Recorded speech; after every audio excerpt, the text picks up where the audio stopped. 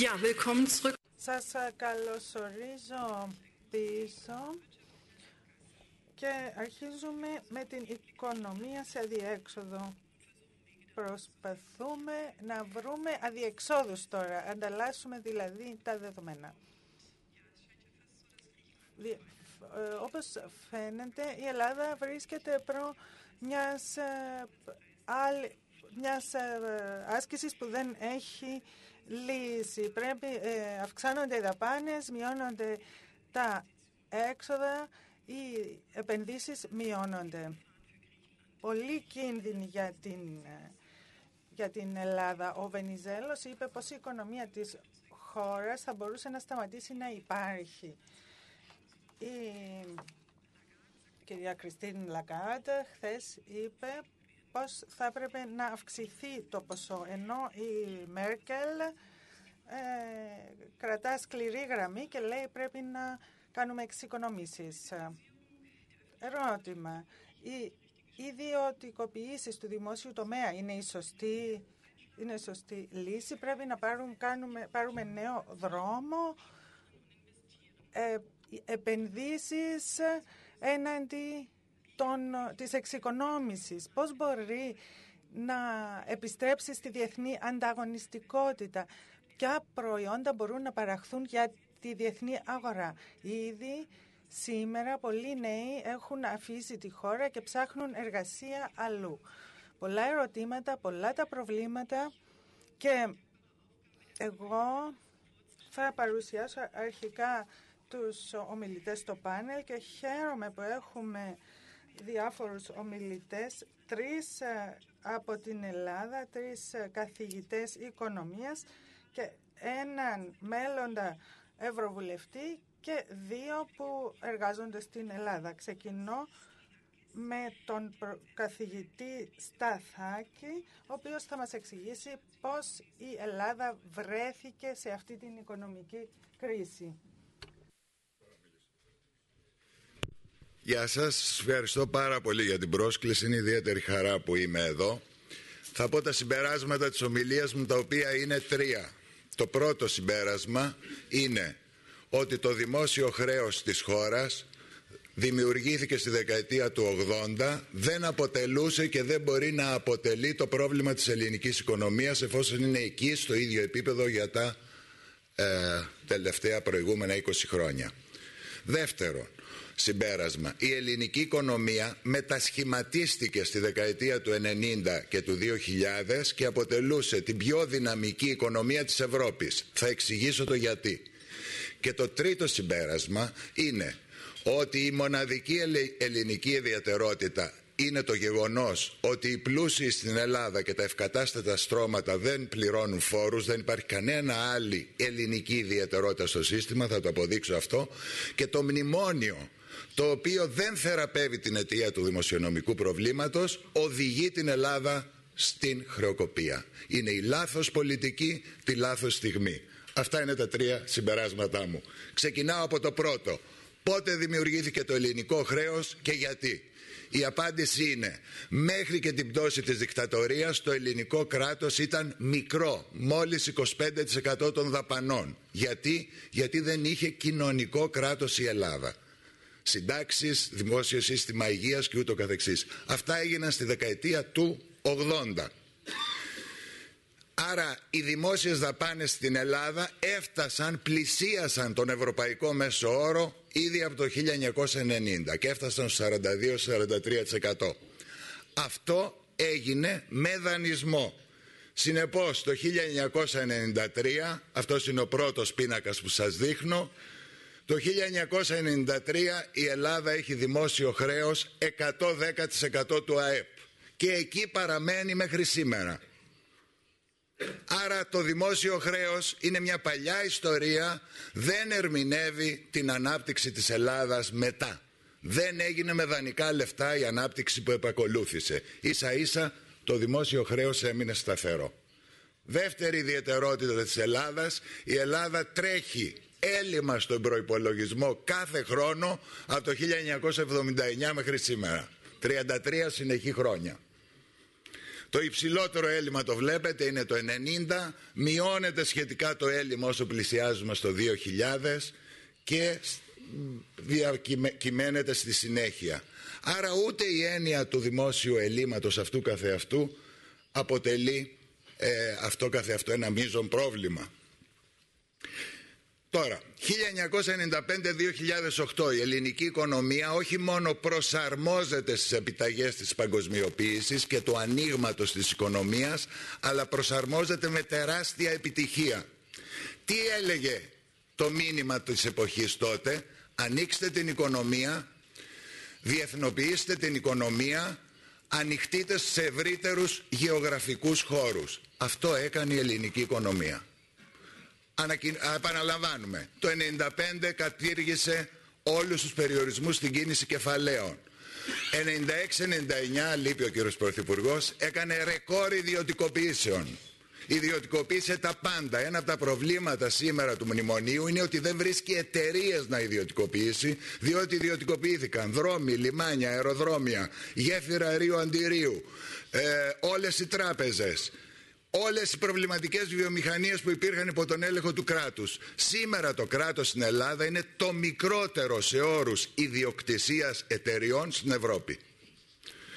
Τι έκανε η ελληνική οικονομία τότε, επεκτάθηκε στα Βαλκάνια, στην Ανατολική Ευρώπη και στην Τουρκία το τραπεζικό σύστημα αναπτύχθηκε και έδωσε έμφαση στους δύο τομείς που έχει συγκριτικό πλεονέκτημα το ρεκόρ ανόδου της ελληνικής ναυτιλίας και του ελληνικού τουρισμού και έδωσε μεγάλη έμφαση στη δυναμική των κατασκευών και του κατασκευαστικού τομέα, μεγάλα έργα, Ολυμπιακοί αγώνες και ούτω καθεξής.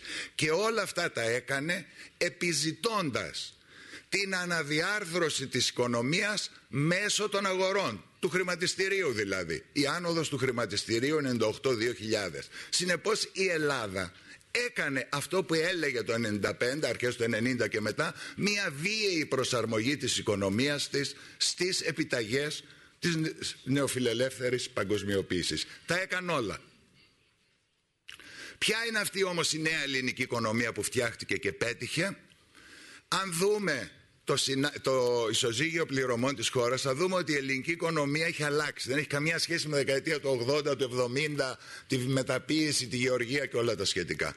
Η ελληνική οικονομία βγάζει τα λεφτά της σήμερα από τρεις πυλώνες. Από τα λεφτά που φέρνει η ναυτιλία στη χώρα, δεν τα φορολογούμε, αλλά αυτό θα το δούμε μετά, από τον τουρισμό και από τις εξαγωγές αγροτικών και βιομηχανικών προϊόντων μαζί. 9% του ΑΕΠ είναι εξαγωγές κάθε ενός από τους τρεις πυλώνες. Την ίδια εποχή η ελληνική οικονομία διπλασίασε τις εισαγωγές της από 20% το πήγε στο 35%. Αποτέλεσμα γιατί, γιατί όλη αυτή η μετάλλαξη και το άνοιγμα της οικονομίας είχε και τις συνέπειές της.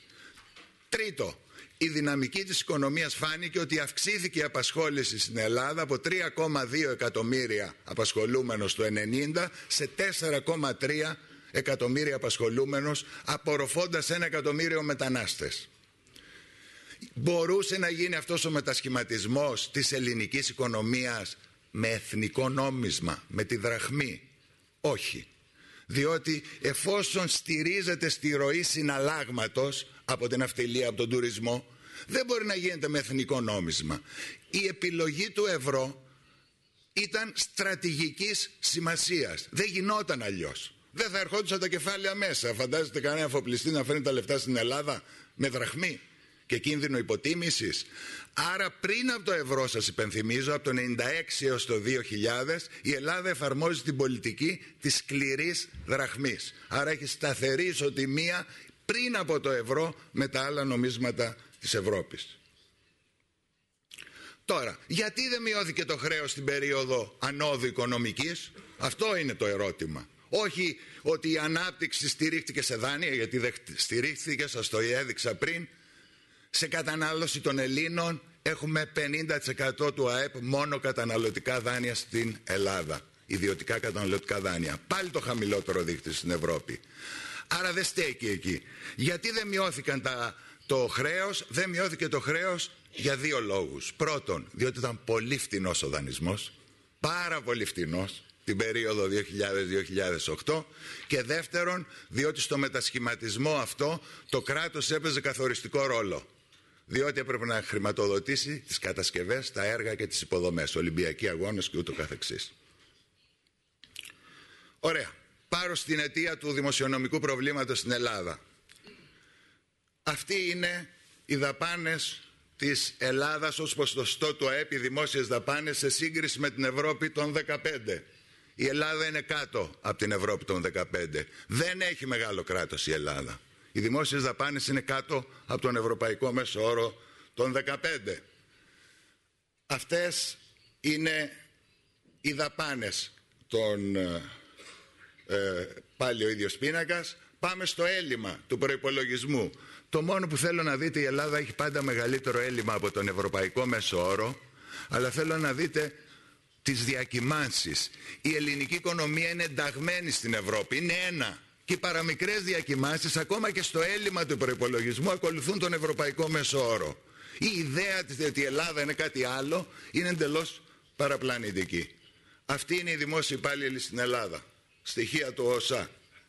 Μόνο το 2009 αυξάνονται σε σχέση με τον ευρωπαϊκό μέσο όρο.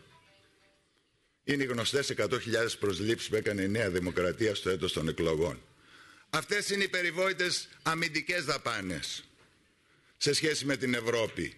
Δεν έχει πολύ ψηλές αμυντικές δαπάνες παρά μόνο τη στιγμή που γίνονται οι δύο μεγάλες αγορές του αιώνα. Το 98 και το 2002. Αν το δείτε την υπόλοιπη περίοδο είναι στο 2 με 2,5%. Άρα είναι μύθος ότι η Ελλάδα έχει 4% κατά μέσο όρο αμυντικές δαπάνες. Έκανε δύο εκτροπές με τις μεγάλες αγορές των όπλων, δεν θέλω να τις σχολιάσω.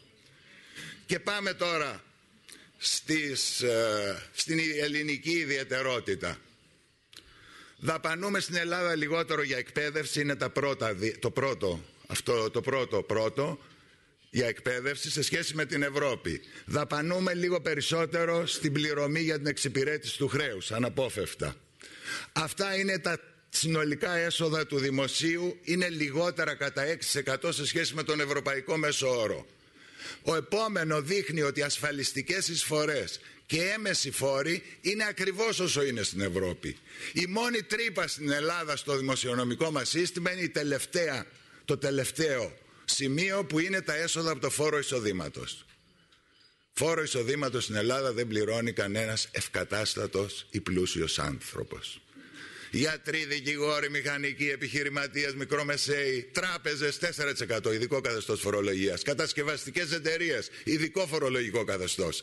Το 50% του τζίρου δεν ενσωματώνεται και ούτω καθεξής. Άρα η μόνη διαφορά, η ιδιαιτερότητα της Ελλάδας σε σχέση με την υπόλοιπη Ευρώπη είναι ότι στην υπόλοιπη Ευρώπη μαζεύουν 5% του ΑΕΠ από φόρο εισοδήματος. Τελειώνει. Άρα αυτή είναι η αιτία του προβλήματος. Δημόσιο χρέος. Γίνεται η κρίση. Είναι το δημόσιο χρέος πρόβλημα σήμερα στον κόσμο; Δείτε πόσο αυξήθηκε το δημόσιο χρέος παγκόσμια από 28-3 σε 41-3 μέσα σε δύο χρόνια. Με προτεργάτη την Αμερική.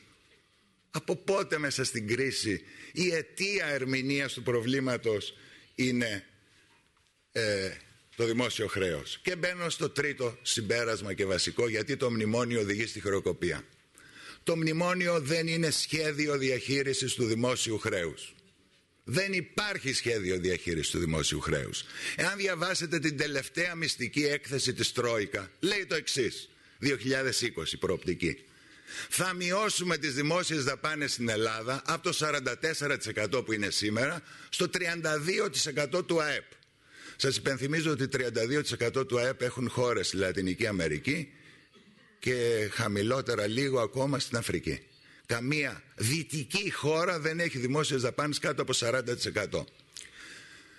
Αυτό λέγεται σχέδιο από ανάπτυξης μιας οικονομίας. Δεν έχουμε λοιπόν ελληνικό σχέδιο βιώσιμο για το χρέος. Βιώσιμο σχέδιο για το χρέος είναι κάτι το οποίο συγκρατεί τις δημόσιες δαπάνες σε λογικό ιστορικά επίπεδο 42%, 41%, 40% ανεβάζει τα δημόσια έσοδα από 38,5 σε 43 φορολογώντας αυτούς που πρέπει να φορολογήσουμε. Αυτό λέγεται βιώσιμη διαχείριση του δημοσιονομικού προβλήματος και ταυτόχρονα αναδιαρθρώνοντας το χρέος, δηλαδή δεν υπάρχει άλλη λύση από αυτό. Το μνημόνιο μέχρι στιγμής έχει καταφέρει να δημιουργήσει ένα ιστορικό ρεκόρ για δυτική οικονομία. Η ελληνική οικονομία έχει χάσει 15% του ΑΕΠ, μείον 15%, που μετά τον πόλεμο, με εξαίρεση τις ανατολικές χώρες κατά τη μετάβαση προς την οικονομία της αγοράς και με εξαίρεση την Αργεντινή δεν υπάρχει οικονομία στον κόσμο να έχει μείον 15% μείωση του ΑΕΠ. Ανακεφαλαιώνω.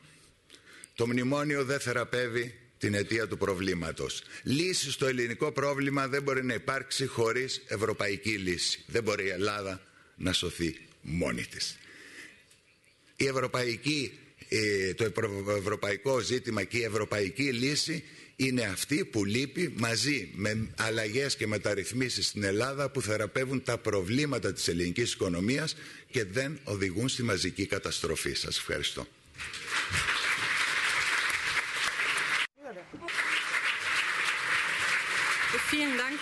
Ευχαριστώ κύριε καθηγητή Σταθάκη και θα παρακολούσα τώρα το δεύτερο εισηγητή μας, τον Μάρτιν Κνάμπ. Είναι εκπρόσωπος της του Γερμανοελληνικού Επιτελείου Βιομηχανίας στην Ελλάδα. Έχει κάνει διάφορες σκέψεις ενδιαφέρουσες και όσον αφορά την ιστορία και θα ήθελα να μας δώσει μια όψη της πραγματικής οικονομίας στην Ελλάδα, εισαγωγές, εξαγωγές. Ίσως μπορούμε να εισάγουμε περισσότερα από ότι μόνο ελαιόλαδο και τυρί φέτα.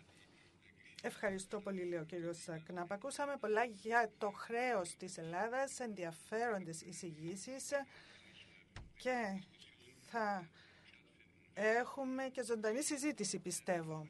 Εμείς, ως Γερμανο-Ελληνικό Βιομηχανικό Επιμελητήριο, ασχολούμεθα λιγότερο με τις κρατικές δαπάνες και τα ταμεία και περισσότερο με τις εταιρείες μας που είναι μέλη μας και αυτές αποτελούν μέρος της πραγματικής οικονομίας και μας προκαλούν ανησυχία αυτή τη στιγμή και εγώ σκέφτομαι τι θα γίνει τη μέρα μετά, πώς θα σταθεί στα πόδια της η Ελλάδα.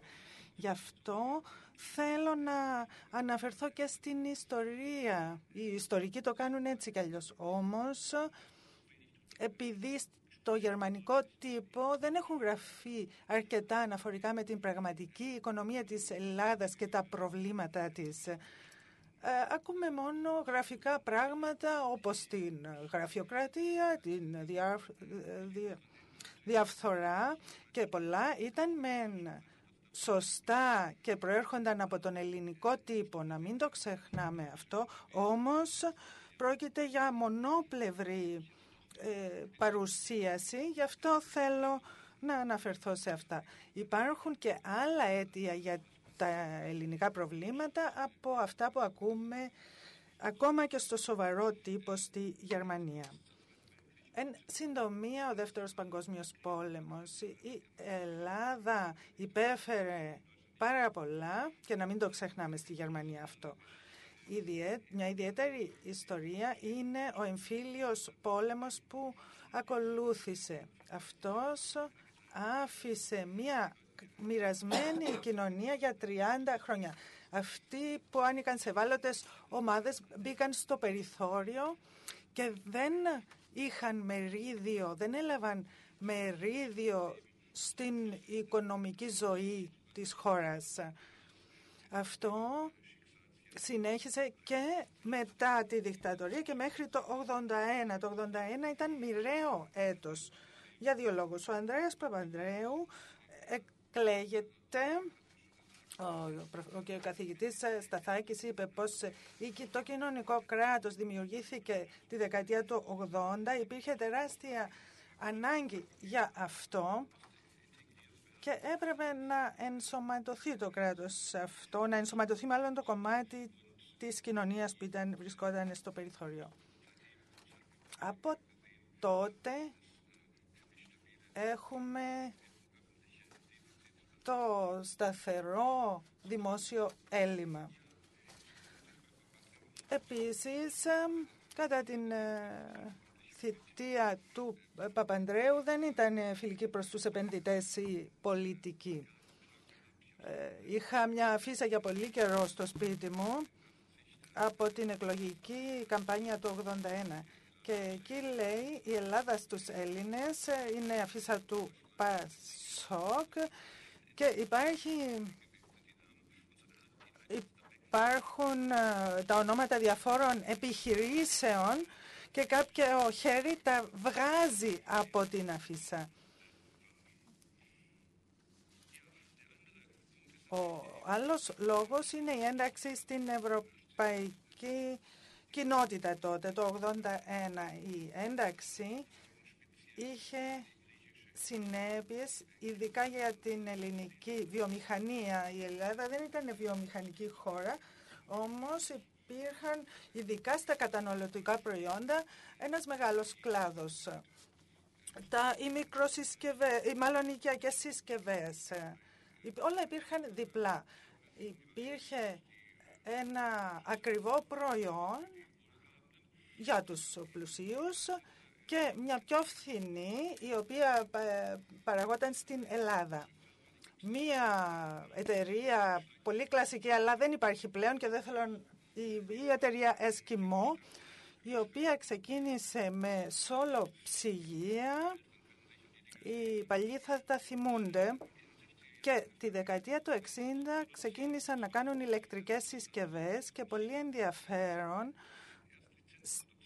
πρώτα ε, ε, κατασκεύαζαν με, με άδεια στην ε, Κίνα σε διάφορες οικιακές συσκευές. Τελευταία ήρθαν και τα πλυντήρια πιάτων. Στο τέλος είχαν το δικό τους μοντέλο και στις καλύτερες τους εποχές είχαν μερίδιο αγοράς 27% στην Ελλάδα, ένας κολοσσός δηλαδή, και προετοιμάστηκαν για την ένταξη στην ε, τότε ευρωπαϊκή κοινότητα και το 1972 συγχωνεύτηκαν με την Ιζόλα και αμέσως μετά την ένταξη στην ευρωπαϊκή ε, κοινότητα ήρθαν και άλλα προϊόντα.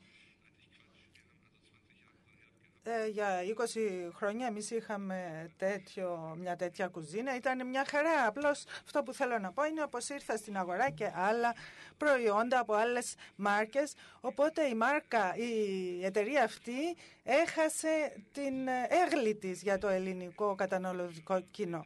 Η εταιρεία Ελίντα ακολούθησε την οδό, όλο, όχι όλων, πολλών βιομηχανιών στην Ελλάδα, ε, γιατί από τη δεκαετία του 80 υπήρχε ο ΟΕ, η ομα, η, ο Οργανισμός Ιδιωτικοποίησης και Ανασυγκρότησης. Τώρα και οι ε, εταιρείες οι εξωτερικές που ήταν στην Ελλάδα αποσύρθηκαν. Ένα παράδειγμα, η ε, εταιρεία Osram που έκανε γλόμπους είχαν ε, περίπου προσωπικό 100, 100 ανθρώπων και μέχρι το 81 σκέφτηκαν πως ε, γιατί να έχουμε εργαζομένους στην Ελλάδα μπορούμε να καλύπτουμε τη ζήτηση από το εξωτερικό.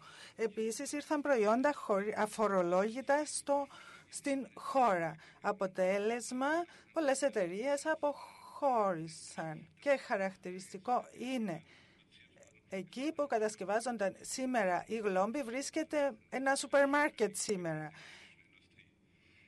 Και αυτό δείχνει την κατάσταση της βιομηχανίας στην Ελλάδα. Ε, η Ελλάδα θεωρείται σαν παράδεισος για τους εξαγωγείς, δηλαδή στις έξω χώρες. Όταν, όταν έψαχνα κάτι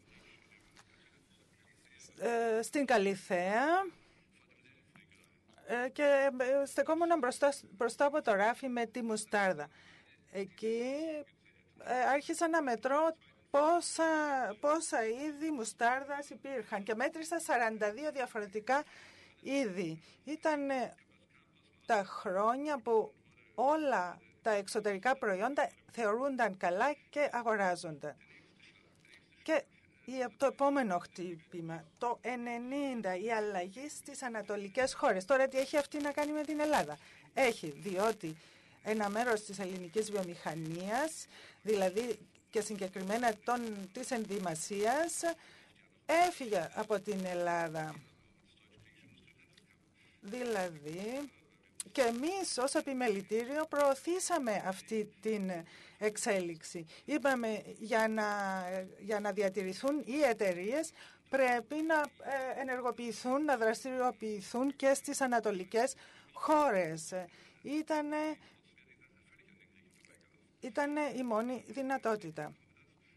Και εμείς ως επιμελητήριος ε, βοηθήσαμε τα μέλη μας να ανοίξουν εργοστάσια σε αυτές τις χώρες. Και αυτό είναι θετικό, διότι σε δύο-τρία χρόνια αργότερα η αγορά τους θα, ε, δεν θα επιζούσαν αυτές οι εταιρείες. Έτσι μεγάλωσαν την αγορά τους και προς Ανατολάς.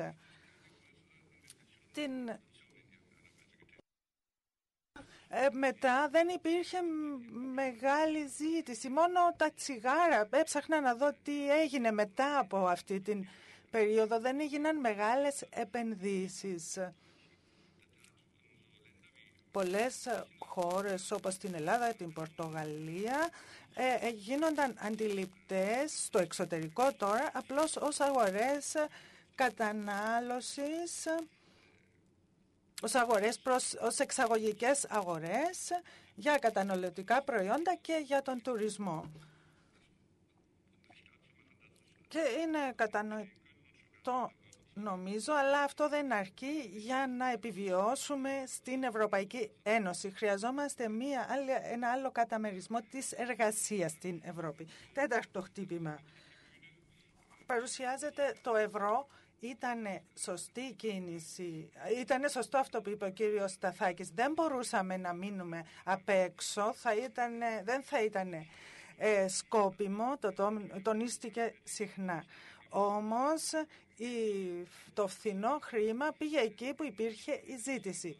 Στην Ισπανία πήγε στις οικοδόμες. Στην Ελλάδα το μεγάλο μέρος πήγε στα κρατικά καθήκοντα και το κράτος ξόδεψε το μεγάλο μέρος των χρημάτων. Γι' αυτό και το χρέος σήμερα σε μεγάλο μέρος είναι δημόσιο και όχι ε, ιδιωτικό.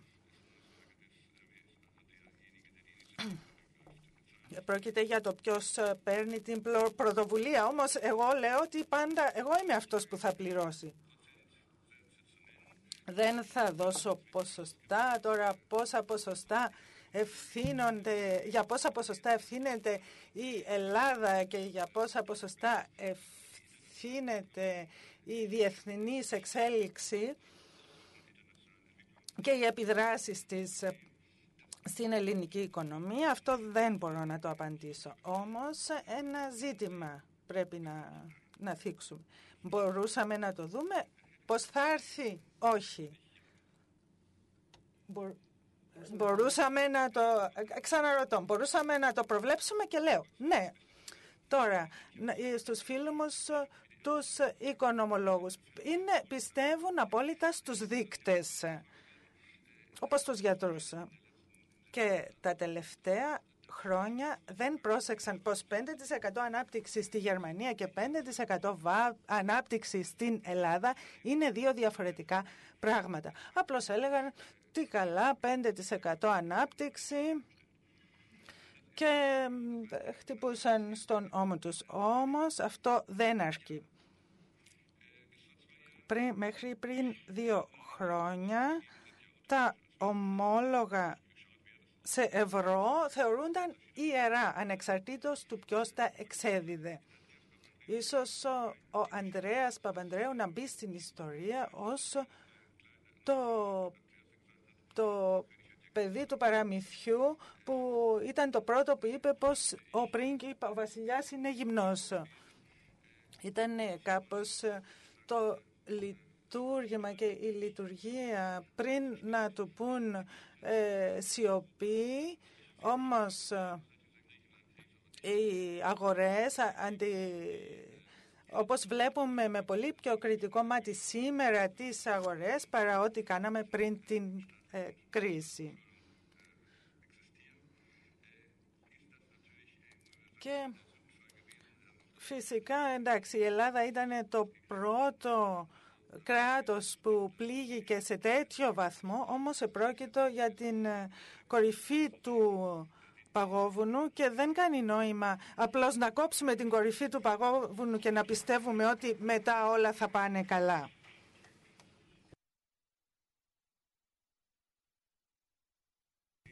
Ε, μιλήσαμε και για το μνημόνιο και εμένα το μνημόνιο μου θυμίζει ανοιχτή ε, ε, εγχείρηση καρδιάς. Χωρίς να αφιχθεί το, το, ο πνεύμονας. Μπορεί με αυτή η εγχείρηση να είναι απαραίτητη και να είναι απαραίτητη διότι εάν δεν γίνει το κράτος το οποίο δεν λειτουργούσε και τώρα αν είναι μεγάλο ή μικρό ο κρατικός, ο κρατικός μηχανισμός, αν είναι μικρότερος από τη Γερμανία. Αυτό που μπορούμε να πούμε είναι ότι τρώει περισσότερα λεφτά από ό,τι αποδίδει. Ο κίνδυνος είναι πως η πολύ ευαίσθητη ανάκαμψη, εάν αυτή επέλθει, αυτή αμέσως καταπατάται μέσω παρεμβάσεων από το δημόσιο κράτος. Αυτό όμως το την ευαίσθητη ανάπτυξη, ανάκαμψη πρέπει να της δώσουμε και τη δυνατότητα να, να, ε, να, να δείξει καρπούς. Για, δεν υπάρχει ρευστότητα για την πραγματική ε, οικονομία, δεν υπάρχει χρηματοδότηση για τις ελληνικές επιχειρήσεις. Γι' αυτό υπάρχει ο κίνδυνος οι υγιείς ελληνικές επιχειρήσεις να μην αντέξουν την κρίση και να καταρρεύσουν. Και δυστυχώς στο τέλος αυτής της εισήγησης δεν μπορώ να δώσω αισιόδοξο, ένα αισιόδοξο πνεύμα. Σας ευχαριστούμε πολύ κύριε Κνάπ και για τα πολύ ωραία παραδείγματά σας. Και θα ήθελα να ζητήσω τώρα από τον ε, καθηγητή κύριο Χαριτάκη να μας πει κάποια πράγματα για το μνημόσιο ή αυτή την εγχείρηση ανοιχτής καρδιάς. Είναι καθηγητής οικονομίας στην Πανεπιστήμιο των Αθηνών και ήταν και γενικός γραμματέας για την ε, ζητήματα ιδιωτικοποίησης στο Υπουργείο Ενέργειας και ελπίζω ότι θα μας εξηγήσει ε, κάποια πράγματα για τη σημερινή ε, κατάσταση. Ευχαριστώ πολύ. Ευχαριστώ το Ίδρυμα για την πρόσκληση. Θα προσπαθήσω να μιλήσω σε ένα φορτισμένο περιβάλλον από έντονες πολιτικές και ε, σχέσεις μεταξύ πραγματικότητος και πληροφόρησης όσο πιο νυφάλια μπορώ. Ε, θα προσπαθήσω να κρατήσω το ρυθμό της ομιλίας μου έτσι ώστε να εξυπηρετήσει τη μετάφραση και αν πράγματι υπάρχει πρόβλημα στη μετάφραση θα προσπαθήσω να το σταθματήσω.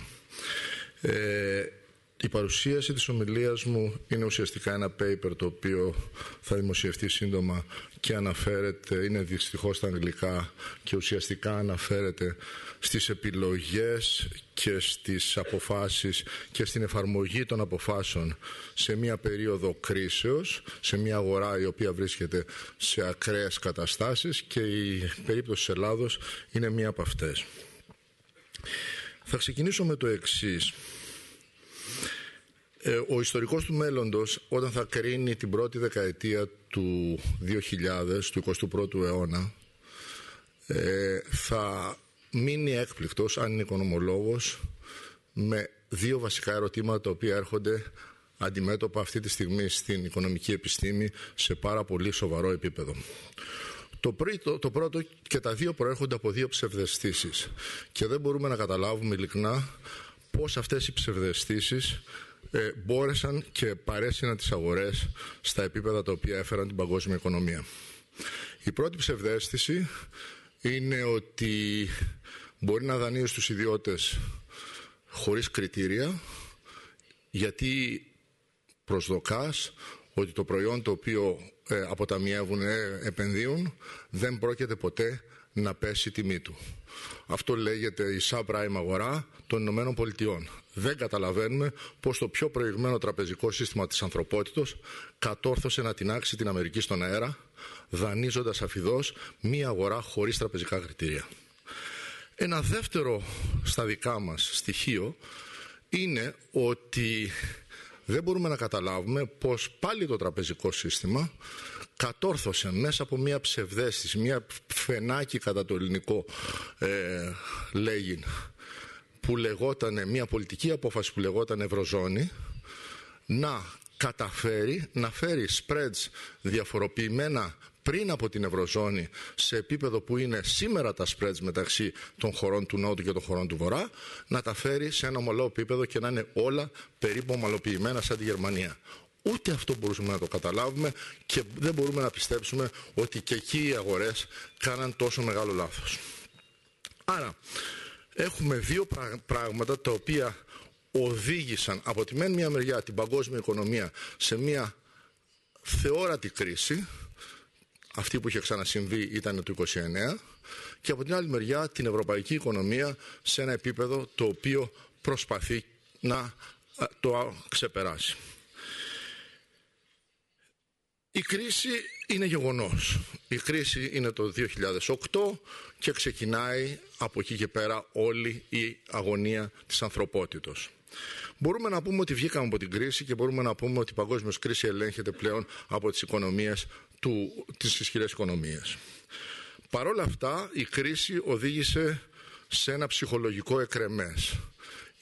Οι αγορές από τη μία μεριά του εκρεμούς, από τον πολύ ενθουσιασμό όλα πάνε καλά, πήγα στο άλλο άκρο του εκκρεμούς, όλα πάνε άσχημα. Οι αγορές εκείνη τη στιγμή ζήτησαν ορισμένα πράγματα. Ε, η μία περίπτωση ήταν ζήτησαν ουσιαστικά από τις υπεύθυνες κυβερνήσεις άφθονη ρευστότητα.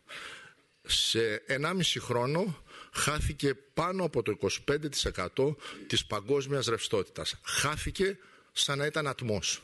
Έφυγε. Οι οικονομίες δεν προσαρμόζονται εύκολα μέσα σε τόσο μεγάλο ε, σοκ το οποίο έχουμε που υπέστη η παγκόσμια οικονομία. Παρ' όλα αυτά η οικονομική επιστήμη κατόρθωσε να το ελέγξει. Η στρατηγική που ακολούθησε η Αμερική ήταν τελείως διαφορετική από τη στρατηγική που ακολούθησε η Ευρώπη. Ε, δεν θα μπούμε στη συζήτηση περισσότερο, απλώς θα πω ότι η στρατηγική της Αμερικής ήταν δώσε άφθονη ρευστότητα στις αγορές για να μπορέσουν να ανταπεξέλθουν στην κρίση. Αντιθέτως η Ευρώπη είπε μην δίνεις άφθονη ρευστότητα στις αγορές και η κρίση θα ομαλοποιηθεί από αυτό που λέμε μόχλευση, deleveraging. Ε, αυτό είναι μια στρατηγική στην οποία δεν μπορούμε να την κρίνουμε αυτή τη στιγμή γιατί είμαστε ζωντανά μέσα στην πραγματικότητα. Άρα είναι πολύ δύσκολο να βγάλουμε συμπεράσματα αν η Ευρωπαϊκή Κεντρική Τράπεζα έκανε καλύτερη πολιτική από, την, από το Fed. Θα το δούμε στο μέλλον. Εκείνο που μπορώ να πω είναι ότι τουλάχιστον οι μελέτες που υπάρχουν στην διεθνή βιβλιογραφία, με καλύτερη της Reinhard Rogoff, λέει ότι οι οικονομίες οι οποίες είναι πάνω από 90% του χρέους έναντι του, του ΑΕΠ, ε, δεν μπορούν να λειτουργήσουν αυξάνοντας τη ρευστότητα και δημιουργώντας ανάπτυξη. Δηλαδή η κενσιανή λογική που λέμε στα οικονομικά δεν λειτουργεί όταν είμαστε πάνω από 90%. Η Ευρώπη ήταν κάτω από το 90%, η Αμερική ήταν πάνω από το 90%, η Αμερική ακολούθησε την πολιτική που ακολούθησε, η Ευρώπη ακολούθησε την πολιτική που ακολούθησε. Άρα μπορούμε να πούμε ότι αφήνουμε στον ιστορικό του μέλλοντος να εξετάσει τι θα γίνει. Ερχόμαστε τώρα στα δικά μας και αυτό που λέμε ε, Ελλάδα. Ε, γιατί αυτή είναι η βασική ερώτηση την οποία θέλουμε να συζητήσουμε. Ε, θέλω να πω ότι η ιστορία της Ελλάδος σε επίπεδο δημοσίου χρέους ως προς το ΑΕΠ καθάριστο εγχώριο προϊόν είναι αυτή που παρουσιάζεται. Είναι από το 1970 μέχρι το 2010. Λυπάμαι που έχω αγγλικούς όρους στην, στις τέσσερις περιόδους που περιγράφω. Η πρώτη περίοδος από το 1970 μέχρι το 1980 την αποκαλώ περίοδο σοβαρότητος, σεμνότητος. Η δεύτερη περίοδος από το 1980 μέχρι το 1995-96 την αποκαλώ λαϊκίστικη αναδιανομή. Γιατί την αποκαλώ λαϊκίστικη διανομή, διότι ενώ ξέρουμε στην οικονομία ότι η αναδιανομή του πλούτου και του εισοδημάτων από τα, φτωχά, από τα ε, πλούσια στα φτωχά μπορεί να δημιουργήσει ανάπτυξη. Εκείνο που έγινε είναι ότι υπόθηκε και από άλλον ότι αυτή, αυτή η πολιτική δεν οδήγησε στην ανάπτυξη.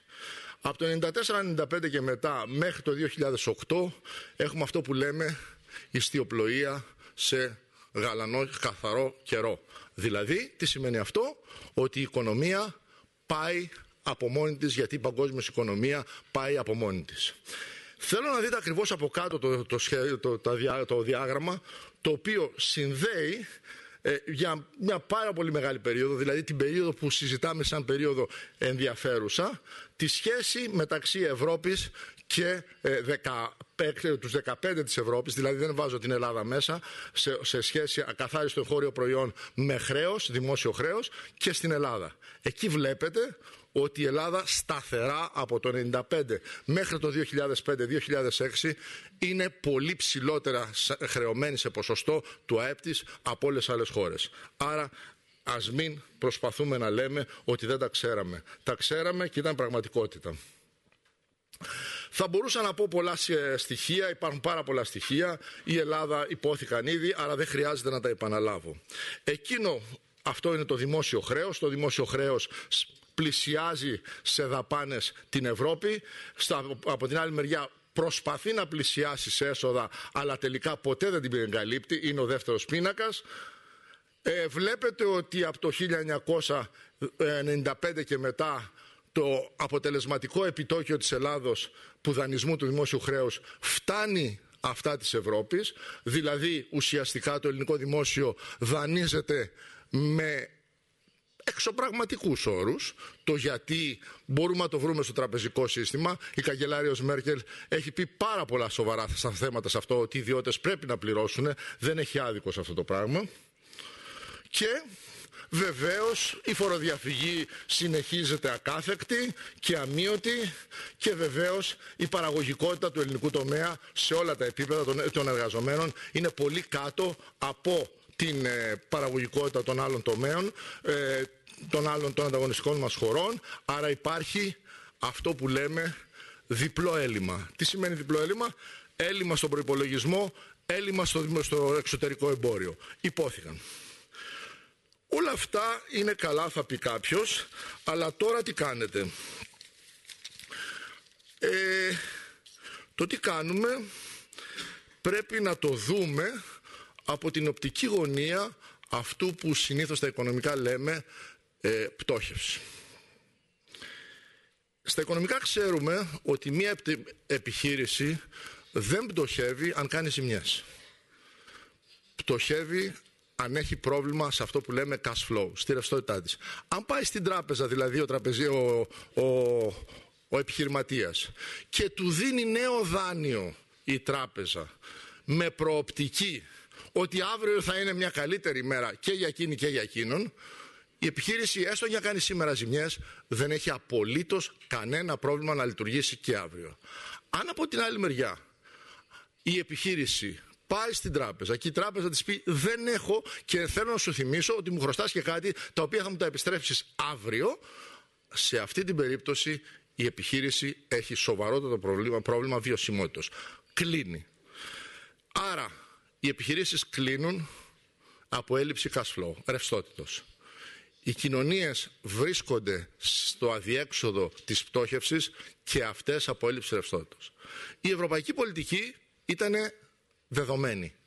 Είχαμε αποφασίσει σαν Ευρώπη, σαν κοινωνία να μην αυξήσουμε τη ρευστότητα της, οικονο... της ευρωπαϊκής οικονομίας επειδή θεωρούσαμε ότι αυτό ήταν σκόπιμο.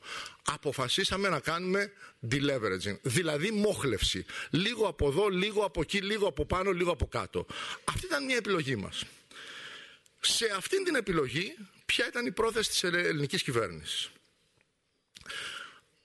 Ο τίτλος της, της εργασίας μου και το paper το οποίο συζητάω ουσιαστικά συζητάει τρία πράγματα. Ποιες ήταν οι δυνατότητες; Οι δυνατότητες ήταν πάρα πολύ περιορισμένες για την ελληνική οικονομία διότι οι αγορές είχαν κλείσει. Από τη στιγμή που κλείνουν οι αγορές η ρευστότητα της οικονομίας δεν υπάρχει, η αναχρηματοδότηση δεν υπάρχει, η, το τραπεζικό σύστημα δεν λειτουργεί για να συντηρήσει την παραγωγή. Θα μπορούσε να πει κάποιος, μα τι γίνεται με τις ιδιωτικές καταθέσεις. Δυστυχώς, δυστυχώς, μέσα σε 8 μήνες, για να μην πω 12, ε, η ελληνική οικονομία, το ελληνικό τραπεζικό σύστημα χάνει περίπου το 30%-34% των ιδιωτικών καταθέσεων, το οποίο φυγαδεύεται στο εξωτερικό. Αυτό αποτελεί τεράστιο πρόβλημα για την αναχρηματοδότηση των δανείων, διότι το τραπεζικό σύστημα πλέον δεν έχει καταθέσεις πάνω στις οποίες μπορεί να πατήσει και στις οποίες μπορεί να χρηματοδοτήσει τα ήδη υπάρχοντα δάνεια. Άρα οι δυνατότητες είναι τρομερά περιορισμένες. Δεύτερον, ποιες είναι οι επιλογές; Οι επιλογές περιγράφονται από την οικονομική πολιτική. Για όσους έχουν ασθενή μνήμη θα υπενθυμίσω ότι η ελληνική κυβέρνηση ε, παρουσιάζει το Φεβρουάριο του 2010 ένα πρώτο σταθεροποιητικό πρόγραμμα στην Ευρωπαϊκή Ένωση. Αυτό ουσιαστικά αποτελεί την οικονομική πολιτική συνειδητοποιεί ότι δεν μπορεί να το, αμφιζεί, να, το, να το πραγματοποιήσει και το αμφισβητεί την επόμενη μέρα, υποχρεώνεται να έρθει το Μάιο και σε συνεργασία με την Τρόικα να επαναδιατυπώσει ουσιαστικά το ίδιο πλάνο, το ίδιο σενάριο υπό την έννοια του μνημονίου και τότε αρχίζει η εφαρμογή του μνημονίου. Η εφαρμογή του μνημονίου, η, η, εφαρμογή του μνημονίου λειτουργεί ως, εκλή... ως εξής. Λειτουργώ επί δύο χρόνια με την αρχή του ισοδυνάμου αποτελέσματος. Δηλαδή, η Τρόικα συμφώνησε με την ελληνική κυβέρνηση εάν κάτι δεν πετύχει, εγώ για να μου πετύχει στο στόχο θέλω να μου κάνεις το ισοδύναμο αποτέλεσμα. Δηλαδή, δεν έχεις φορολογία, δεν έχετε στους στόχους τη φορολογία, δώσε μου σε παρακαλώ ε, περισσότερη φορολογία για να καλύψεις τα ελλείμματα. Διότι ο στόχος είναι ένας και μοναδικός. Ο στόχος είναι η αξιοπιστία της ελληνικής παραγωγής. Εάν η ελληνική οικονομία δεν είναι αξιόπιστη στο τραπεζικό σύστημα, είτε στο εθνικό είτε στο διεθνές, η Ελλάδα δεν μπορεί να βγει στις αγορές. Και αν η Ελλάδα δεν μπορεί να βγει στις αγορές, ανάπτυξη δεν υπάρχει. Αυτό είναι στοιχειώδες για τους οικονομολόγους και αν νομίζουμε ότι μπορεί με άλλο τρόπο να το λύσουμε, παρακαλώ πάρα πολύ, εγώ δέχομαι να σκίσω τα πτυχία μου. Λοιπόν, προχωρούμε. Επιλέγω. Συμφωνώ. Προσπαθώ να εφαρμόσω. Πολύ σωστό. Δεν μπορώ να αντιπαρέλθω τις αντιδράσεις οι οποίες μου δημιουργούνται. Προχωρώ σε οριζόντιες δράσεις ισοδυνάμου αποτελέσματος. Και αυτό συνεχίζεται επί δύο χρόνια. Το αποτέλεσμα βεβαίως, δεν θέλω να πάω στις θεωρητικές ενασυνήσεις, το αποτέλεσμα είναι ότι όλη η πολιτική στηρίζεται σε αυτό το διάγραμμα. Στηρίζεται σε αυτό το διάγραμμα. Θα βουλιάξουμε παρέα. Αυτό σας λέμε αν δεν το καταλάβατε. Διότι αυτή είναι η πραγματικότητα.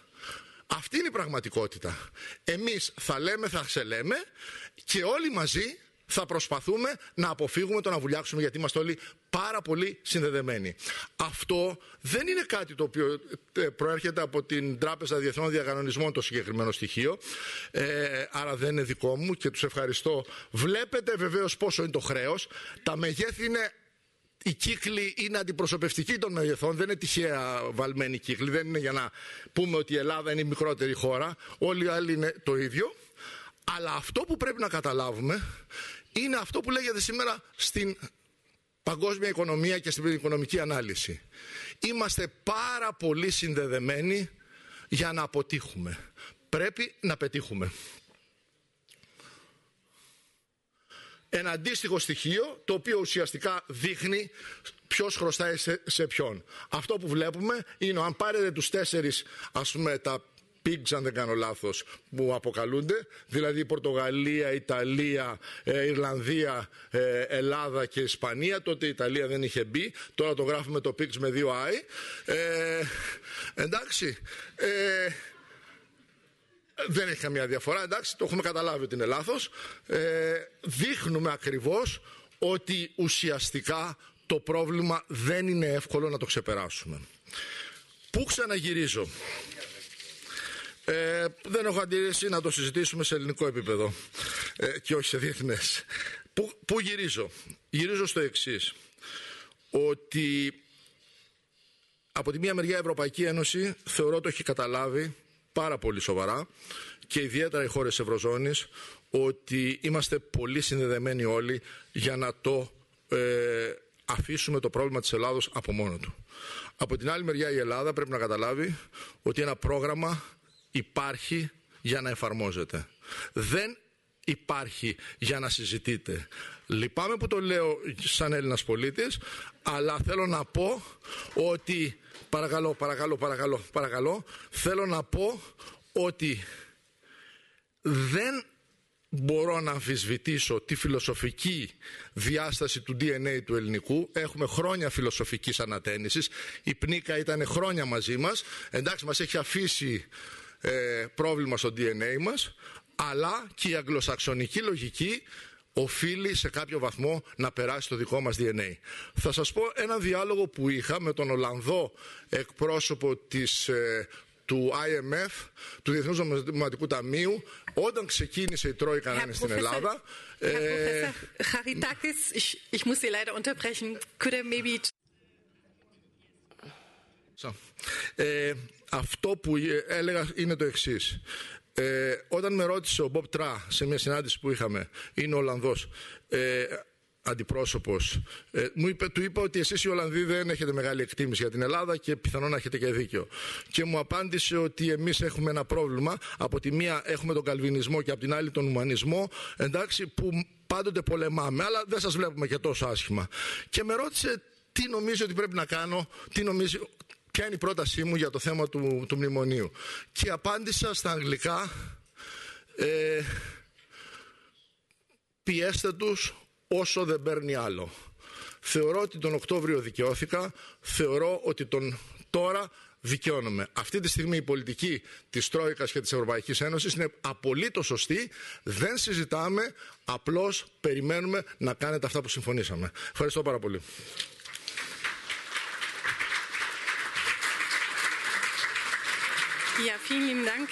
Ευχαριστώ κύριε καθηγητή Χαριτάκη. Φυσικά είναι πολύ λυπηρό, μιλάτε για ψυχολογικό αδιέξοδο. Διαλύσαμε το πάνελ. Παρακαλώ τώρα τον ε, δόκτορα Γιάννη Πάνσιτιαν, ο οποίος αποτελεί μέρος της ομάδας ε, δράσης για την Ελλάδα. Ανήκετε στην Τρόικα, η πρώτη ερώτησή μου, κύριε Μπαστιάν. Ευχαριστώ. Θα απαντήσω κατά τη διάρκεια της εισηγησής μου. Θέλω να ευχαριστήσω την κυρία Δρόσου για την ε, πρόσκληση και θέλω να ευχαριστήσω επίσης και τους φίλους μου, τον Ρόι και τον Γιάννη Ψυχοπέδη που κάνουν γέφυρες για πολλά χρόνια μεταξύ Αθήνας και Βερολίνου σε διάφορα επίπεδα και ε, τους ευχαρι... και η παρουσία μου σήμερα οφείλεται σε αυτούς σε κάποιο ε, βαθμό σε επίπεδο ε, ανθρωπιστικό και πολιτιστικό γιατί μοιραζόμαστε πολλά και στην Ελλάδα και εδώ. Θα προσπαθήσω να δείξω ορισμένες προκλήσεις που παρουσιάζονται, αλλά και ορισμένες καινοτόμες ευκαιρίες που μας δίνονται. χθες το βράδυ και σήμερα το πρωί έγινε κατανοητό πως ένας εστιασμός στο εξής πρέπει να δώσουμε έκτακτα δάνεια στην Ελλάδα. Αυτό δεν θα σώσει, στην, δεν θα σώσει την Ελλάδα. Πρέπει να διευρύνουμε τον ορίζοντα και οι συζητήσεις το δείχνουν αυτό πως ήδη γίνεται. Τα πακέτα διάσωσης μόνα τους δεν τα καταφέρνουν και για, για τους λόγους που έχουν ε, αναλυθεί το δείχνουν. Επαναλαμβάνω αυτό που είπαν διάφοροι πριν από μένα. Χρειαζόμαστε νέες, νέα πολιτικά κεφάλια και αυτό γίνεται ορατό. Θέλω να σας ενθαρρύνω ε, όταν ε, να σας ενθαρρύνω να μην στρέφετε συνεχώς τα μάτια στην Αθήνα. Η Ελλάδα δεν είναι μόνο η Αθήνα. Γίνονται πολλά στην Ελλάδα, σε τοπικό επίπεδο, στις επιχειρήσεις, στο πεδίο του περιβάλλοντος και αυτά όχι μόνο στην Αθήνα. Υπάρχουν δήμαρχοι όχι μόνο στη Θεσσαλονίκη αλλά και σε άλλα μέρη, στην Πάτρα, στο Βόλο. Και σημαντικό θεωρώ πως και, και σε αυτές τις πόλεις και τόπους γίνονται μεταρρυθμίσεις σε πραγματικό χρόνο. Και πιστεύω ότι πρέπει να κοιτάζουμε τι γίνεται, γιατί υπάρχουν νέα οράματα σε αυτή τη χώρα. Την περασμένη Κυριακή ε, υπήρχε μία νέα μορφή της ε, συζήτησης. Όπως καθόμαστε εδώ, έγινε αυτό με διάφορους διανοούμενους, με διάφορα think tank, οι οποίοι επιτέλους τολμούν και λένε πρέπει να βρούμε τη ζωή μας και να βρούμε, πρέπει να το κάνουμε αυτό μαζί. Παρόλες τις κριτικές που εξασκούνται, πρέπει να στρέψουμε το βλέμμα προς τα εμπρός, να είμαστε αισιόδοξοι και να μην δίνουμε ευθύνες δεξιά και αριστερά. Αυτό αποτρέπει δύο πράγματα που πρέπει να αποφεύγουμε. Στην Ελλάδα υπάρχει αυτό που λέμε γκρίνια. Ε, πολλοί δεν μπορούν να το ακούσουν πλέον γιατί δεν μας παίρνει πουθενά. Αυτό που χρειαζόμαστε είναι υπεύθυνη ε, υπεύθυνος τρόμος αντιμετώπισης στην Ελλάδα αλλά και στο εξωτερικό. Η διασπορά είναι ένας σημαντικός καταλήτης των μεταρρυθμίσεων οι οποίες μπορούν να γίνουν. Δεν μπορούμε να επαναπαυτούμε σε, μόνο σε όσα μπορούν να γίνουν στην Ελλάδα με την Ελλάδα. Υπάρχουν στην Ελλάδα και καινοτόμες επιχειρήσεις, νέα οράματα και πολλά ε, σωστά μοντέλα. Ε, πρέπει να πούμε αυτό που λέμε στα αγγλικά, κάντε μια πρόσφορα που να μην μπορεί να αρνηθεί ο άλλος. Τα καθήκοντα μένουν, ισχυρά, ε, μένουν πολλά και μπορούμε να τα βάλουμε, να προσπαθήσουμε να τα αντιμετωπίσουμε με διάφορους τρόπους. Αυτό που μπορεί να κάνει η Κομισιόν είναι να προσπαθήσει αυτό που ακούσαμε σχετικά με τις εξηγιάνσεις από την Τρόικα. Να προσπαθήσει λοιπόν αυτό να το συνδέσει με εξυγχρονισμό, με την ανα, ανα, ανοικοδόμηση, με την νέα συνείδηση. Να κάνουμε αυτό που λέμε να δίνουμε συμβουλές, όμως τονίζουμε συνεχώς το, την σημασία της συνεργασίας, τη συνεργασία με τους Έλληνες. Η ομάδα δράσης, η Task Force, δεν είναι παιδί της Κομισιόν ή της Τρόικας. Οφείλεται σε μια πρωτοβουλία του Παπαντρέου. Τον Ιούλιο πέρυσι, σε μια συνάντηση κορόφης, παρακάλεσε τα κράτη-μέλη της Ευρωπαϊκής Ένωσης, όχι μόνο της Ευρωζώνης, εάν είναι δυνατόν να δημιουργηθεί μία ομάδα δράσης. Και αυτό, αυτή, αυτό το παρελθόν μας συνοδεύει μέχρι σήμερα Και δεν, δεν είμαστε η Τρόικα, ούτε θέλουμε να γίνουμε ε, μοχλός της Τρόικας. Δεν ε, βάζουμε, δεν ε, διαπραγματευόμαστε και δεν συμφωνούμε προϋποθέσεις εμείς όπως την Τρόικα. Μαζί με διάφορες αρχές, τον ιδιωτικό τομέα, τον δημόσιο τομέα, με το κράτος, με την ε, αντιπολίτευση κτλ. Προσπαθούμε να ανταποκριθούμε και να δραστηριοποιηθούμε στη ζήτηση σε συνεργασία με τους Έλληνες. Και αυτό λέει, κυρίες και κύριοι, πως όταν, γίνον, όταν ε, η Ευρωπαϊκή Επιτροπή κάνει κάτι και είδαμε πως υπήρχαν ελλείψεις στην Ευρωπαϊκή Επιτροπή, πώς προσπαθούμε να βοηθήσουμε την Ελλάδα να σταθεί στα πόδια της.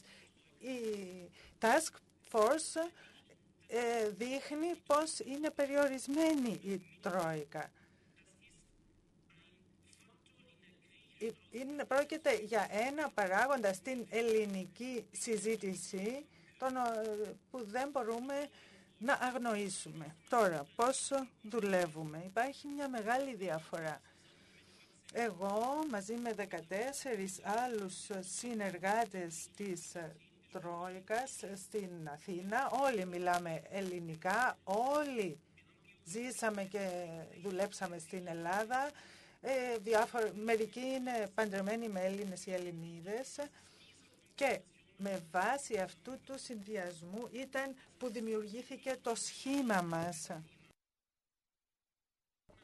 Κάνουμε λοιπόν διάφορες συναντήσεις και οι εταίροι μας λένε «Α, δεν χρειάζεστε μετάφραση». Δεν χρειάζεται να σας εξηγήσουμε πώς λειτουργούν οι τηλεπικοινωνίες στην Ελλάδα. Όχι, δεν το χρειαζόμαστε. Όμως, ε, στη γερμανική κρατική τηλεόραση έδειξαν κάτι λάθος. Μας, ε, μας είπαν πως εμείς είμαστε κάτι σαν κομάντο της Γερμανίας.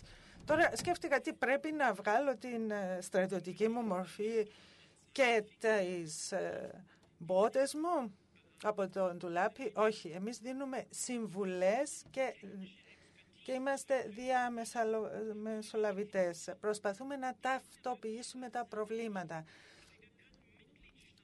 Εμείς μπορούμε να ταυτοποιήσουμε κράτη-μέλη που έχουν την εμπειρογνωμοσύνη και να την διαθέσουν από κοινού με τους Έλληνες εταίρους.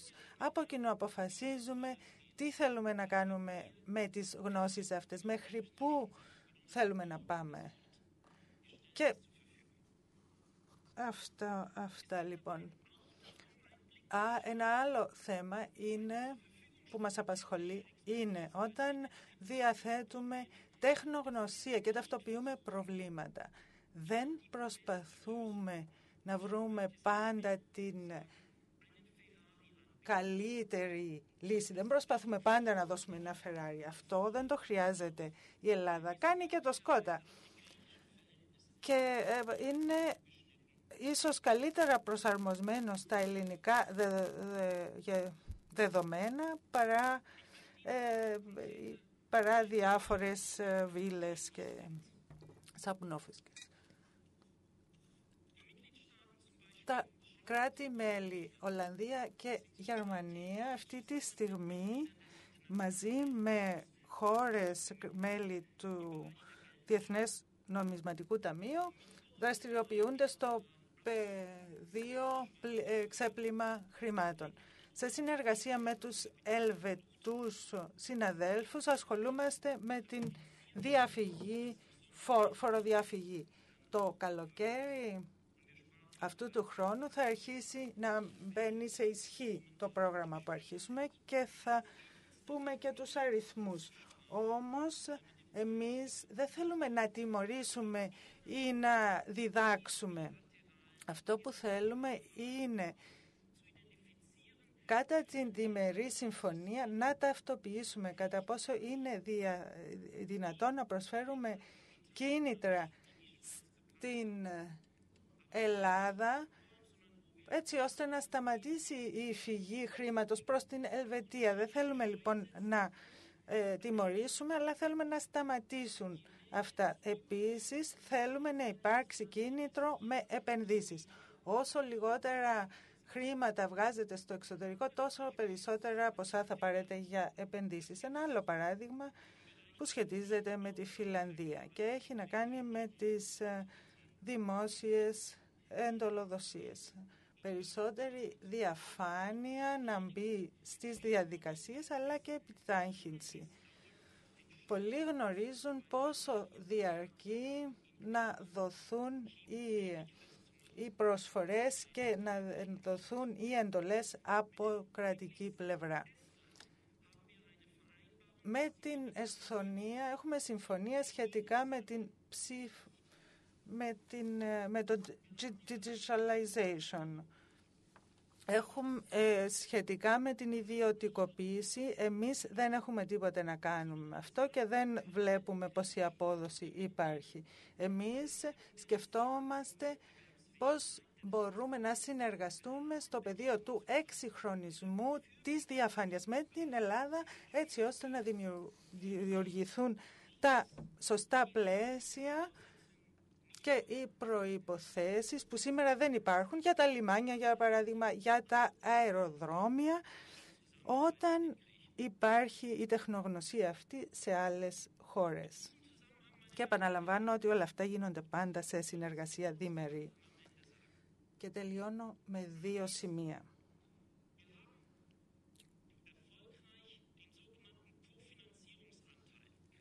Ε, με επιτυχία καταφέραμε να μειώσουμε το κομμάτι, την μερίδα του δανείου στην Ελλάδα στο Διαρθρωτικό Ταμείο της Ευρωπαϊκής Ένωσης. Αυτό μειώθηκε σε 95% από το ποσό, του ποσού που έρχεται από την Ευρωπαϊκή Ένωση. Όμως υπάρχουν πολλοί τομείς όπου δεν γίνονται πολλά το ε, Ευρωπαϊκό Κοινωνικό Ταμείο. Η Ελλάδα χωρίς τις προϋποθέσεις που υπήρχαν τα τελευταία δύο χρόνια πήρε από το Κοινωνικό Ταμείο μόνο 20% των, ε, των ποσών που ήταν διαθέσιμα. Τώρα, ε, εμείς μιλούμε εδώ για την διαβίου ε, μάθηση, για την εκπαίδευση, και για, τέτοια, για την παιδεία. Αυτά τα παιδεία πρέπει να τύχουν επενδύσεων και από το κοινωνικό ταμείο.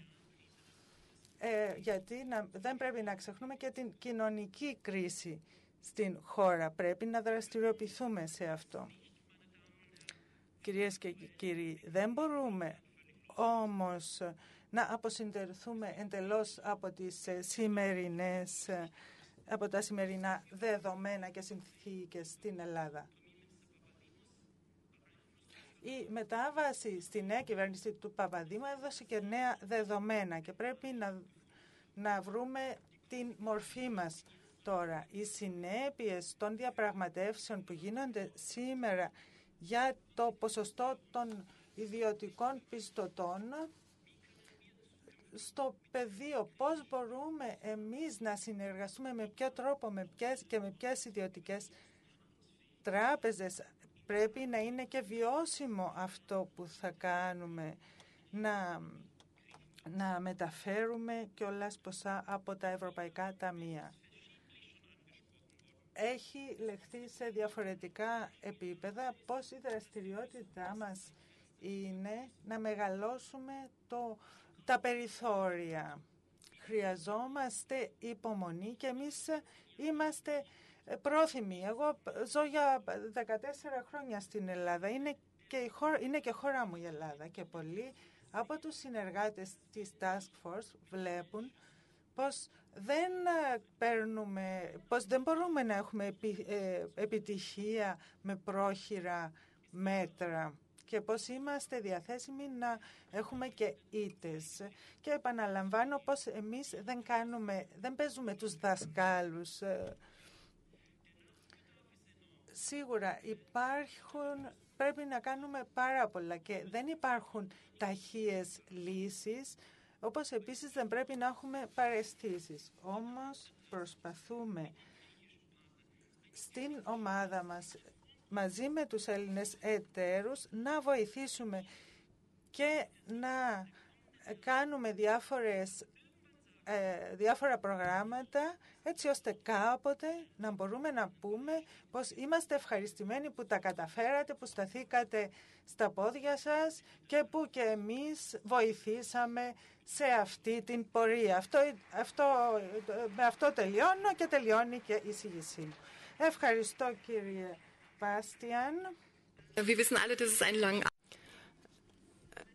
Γνωρίζουμε όλοι ότι πρέπει να πάρουμε μια βαθιά αναπνοή, ωστόσο θα χαιρόμουν να μπορούσαμε να μιλήσουμε για ένα διαφορετικό όρεμα για την Ελλάδα και θα ήθελα να δώσω το λόγο στον ε, κύριο Χρυσόγελο, ο οποίος θα βρίσκεται στο Ευρωκοινοβούλιο από τον επόμενο μήνα με το κόμμα των Πρασίνων και θα ήθελα να μας πείτε κάποια λόγια για το λεγόμενο New Green Deal. Ich spreche nicht, nicht gut äh, Ευχαριστώ. Δεν μιλώ καλά γερμανικά, γι' αυτό θα μιλήσω ελληνικά. Ότι ε, έγιναν πολλά λάθη, νομίζω και από το ελληνικό πολιτικό σύστημα, αλλά και από την Τρόικα, γιατί μια κρίση η οποία είναι σύνθετη και πολύπλευρη και δεν έχει μόνο ελληνικές ρίζες, αλλά έχει και ρίζες στο μοντέλο που ακολούθησε η, το κοινό νόμισμα και η Ευρωζώνη, αντιμετωπίστηκε τουλάχιστον στην αρχή με υπεραπλουστευτικά μέτρα το μνημόνιο επικέντρωσε πάρα πολύ στα θέματα του ελλείμματος. Η κρίση μετατράπηκε από κρίση ελλείμματος σε κρίση και χρέους, αλλά χωρίς να αντιμετωπίσει τα προβλήματα που είναι τα πιο σημαντικά, τα ελλείμματα στο εμπορικό συζύγιο. Δηλαδή, από εκεί είναι η βασική πηγή των προβλημάτων, αν μιλήσουμε καθαρά σε επίπεδο δημοσιονομικό. Αλλά αυτή η κρίση δεν είναι μόνο κρίση δημοσιονομική. Είναι μια κρίση η οποία έχει να κάνει τόσο με το πολιτικό σύστημα που αναπτύχθηκε στην Ελλάδα, όσο και με το μοντέλο της οικονομίας και της παραγωγής και κυρίως κατανάλωσης που ακολουθήθηκε τις τελευταίες δεκαετίες, αλλά και που εξελίχθηκε πολύ ραγδαία με βάση τον τρόπο που υιοθετήθηκε το κοινό νόμισμα στην Ευρωζώνη. Ε, δεν μπορείς να αντιμετωπίσεις λοιπόν μια τέτοια κρίση η οποία είναι σύνθετη με προσπάθεια να μειώσεις απλώς τα ελλείμματα γιατί εκεί που πετυχαίνεις κάτι φεύγουν τα προβλήματα και επεκτείνονται σε άλλους τομείς. Με αποτέλεσμα, ενώ γίνεται προσπάθεια να μειωθούν παράδειγμα τα ελλείμματα στα ασφαλιστικά ταμεία, βλέπουμε ότι όλη αυτή η πολιτική που επιδράει στην οικονομία, στο τέλος τι κάνει, να μεγενθύνει τα προβλήματα των ασφαλιστικών ταμείων, γιατί αυξάνεται ραγδαία η ανεργία, μειώνονται τα, οι ασφαλιστικές εισφορές και ταυτόχρονα μειώνονται τα εισοδήματα που μπορείς να φορολογήσεις. Αν υπήρχε μία φορά πρόβλημα στα έσοδα από τη φορολόγηση της εργασίας και πολύ περισσότερο από την φορολόγηση της παραοικονομίας και της περιουσίας. Τώρα αυτό έχει μεγενθηθεί. Δηλαδή και να θέλεις να πάρεις φόρους, δεν υπάρχουν να πληρώσεις. Δεν είναι μόνο το κίνημα που έλεγε δεν πληρώνω, αλλά τώρα και οι άνθρωποι δεν μπορούν να πληρώσουν. Υπάρχει μια κατάρρευση πραγματικά της οικονομίας με αποτέλεσμα σήμερα μεταξύ των νέων η ανεργία να είναι πάνω από 45-50% και θα έχετε και εσείς εδώ πέρα θα έχετε ακούσει πάρα πολλά ε, μηνύματα από νέους ανθρώπους που έρχονται εδώ για να βρουν μια διέξοδο όπως και σε άλλες περιοχές. Και το πιο σημαντικό είναι ότι το δυναμικό κομμάτι της κοινωνίας παραμένει στο περιθώριο. Δηλαδή, που είναι οι νέοι; Για ό,τι μιλάμε για καινοτομία, για αλλαγές, αυτό πρέπει να γίνει και με τις αντίστοιχες κοινωνικές δυνάμεις. Αυτές οι κοινωνικές δυνάμεις λοιπόν είναι στο περιθώριο και δεν έχουν καμιά ελπίδα και κανένα μέλλον να μπουν και να αλλάξουν τα πράγματα. Και αυτό είναι πάρα πολύ σημαντικό στο κοινωνικό και πολιτικό επίπεδο. Άρα Εάν θέλουμε να μιλήσουμε για αντιμετώπιση της κρίσης, θα έπρεπε να δούμε τρία επίπεδα. Το ένα είναι το ευρωπαϊκό επίπεδο. Είναι προφανές ότι η Ελλάδα ήταν ο αδύναμος κρίκος, αλλά είναι ένα σύμπτωμα μέσα στην λάθος στρατηγική της Ευρωζώνης. Πρέπει να γίνει γρήγορα μεταρρύθμιση Ευρωζώνης και νομίζω ότι εάν η οι ευρωπαϊκοί ηγέτε είχαν ακολουθήσει τις προτάσεις του Ευρωπαϊκού Κοινοβουλίου. 25 Μαρτίου του 2010 είχε υιοθετηθεί με μεγάλη πλειοψηφία στο Ευρωπαϊκό Κοινοβούλιο η έκθεση Sven Giegold, ένας πράσινος ευρωβουλευτής, Γερμανός, για μεταρρύθμιση Ευρωζώνης, για αλληλεγγύη και για ευρωομόλογα. Νομίζω θα είχε κοστίσει πολύ, λίγο, πολύ λιγότερο τέλος πάντων στην οικονομία της Ευρώπης η κρίση, στην Ελλάδα και σε άλλες χώρες, αλλά θα είχαμε πιο γρήγορα ε, προχωρήσει τα μέτρα. Η Ευρώπη προχωράει πάρα πολύ αργά, με λάθος σας βήματα και τελικά το κόστος εκτινάσεται. Ήδη πρέπει να έχει κοστίσει στην Ευρώπη πάνω από 4,5-3 εκατομμύρια η διάση του χρηματοπιστωτικού συστήματος και τα μέτρα που πάρθηκαν στην προηγούμενη περίοδο. Άρα συνέχεια αυξάνεται το κόστος διάσωσης πέρα από την Ελλάδα τώρα είναι και άλλες χώρες κλπ. Άρα λοιπόν μεταρρύθμιση στην Ευρωζώνη και πραγματικά μια ολοκλήρωση σε ευρωπαϊκό επίπεδο που να μπορεί να αντιμετωπίζει τέτοια προβλήματα αλλά κυρίως να συγκροτεί μια καινούρια δύναμη οικονομική που μπορεί να αντιμετωπίσει φορείς που έχουν μεγαλύτερη ισχύ όπως είναι οι διάφοροι ε, φορείς οικονομικοί που αξιολογούν την οικονομία. Έτσι, ή και αξιολόγηση που λέμε. Δηλαδή, με μια απόφαση μπορούν να υπάρχει μιας, μια τεράστια δισεκατομμυρίων και αυτό η Ευρωπαϊκή Ένωση, ενώ είναι μια οικονομική υπερδύναμη, δεν μπορεί να αντιμετωπίσει παρόμοια θέματα. Το δεύτερο επίπεδο προφανώς είναι το ελληνικό επίπεδο. Η Ελλάδα πρέπει να αλλάξει. Αν δεν υπήρχε κρίση, θα έπρεπε αυτό να έχει γίνει συνειδητά με αλλαγές στις πολιτικές που ακολουθούνται και αν το πολιτικό σύστημα στην Ελλάδα είχε μια στρατηγική έβλεπε τα προβλήματα, δρούσε προληπτικά και επεξεργάζονταν σχέδια ώστε να αντιμετωπίσουν αυτά τα προβλήματα με ένα συνεκτικό τρόπο. Τώρα όμως που έχουμε αυτή την κρίση πρέπει να γίνει αυτό για την όρος επιβίωσης. Προφανώς πρέπει να αντιμετωπίσουμε τα δημοσιονομικά προβλήματα αλλά παράλληλα πρέπει να μεταρρυθμίσουμε και το πολιτικό σύστημα, να δημιουργήσουμε ένα νέο μοντέλο κοινωνικής συνοχής και ταυτόχρονα να μεταρρυθμίσουμε την οικονομία ώστε να βιώσιμη. Ας μην ξεχνάμε ότι η κρίση στην οικονομία ήταν πολύ πιο πριν από το 2008 γιατί αυτό που ξέραμε κάποτε σαν ελληνική παραγωγή σιγά σιγά αποδιοργανώθηκε, στράφηκε η οικονομία στη, στα, στο χρηματιστήριο, στην φούσκα του χρηματιστηρίου. Ξέρουμε πολύ καλά τι έγινε στις αρχές δεκαετίας του 2000. Στράφηκε στη φούσκα της κατασκευής με την πίστη ότι μπορούμε να πουλάμε τα οικόπεδα, να χτίζουμε παντού μέσα στα δάση, παραλίες, στα νησιά κλπ.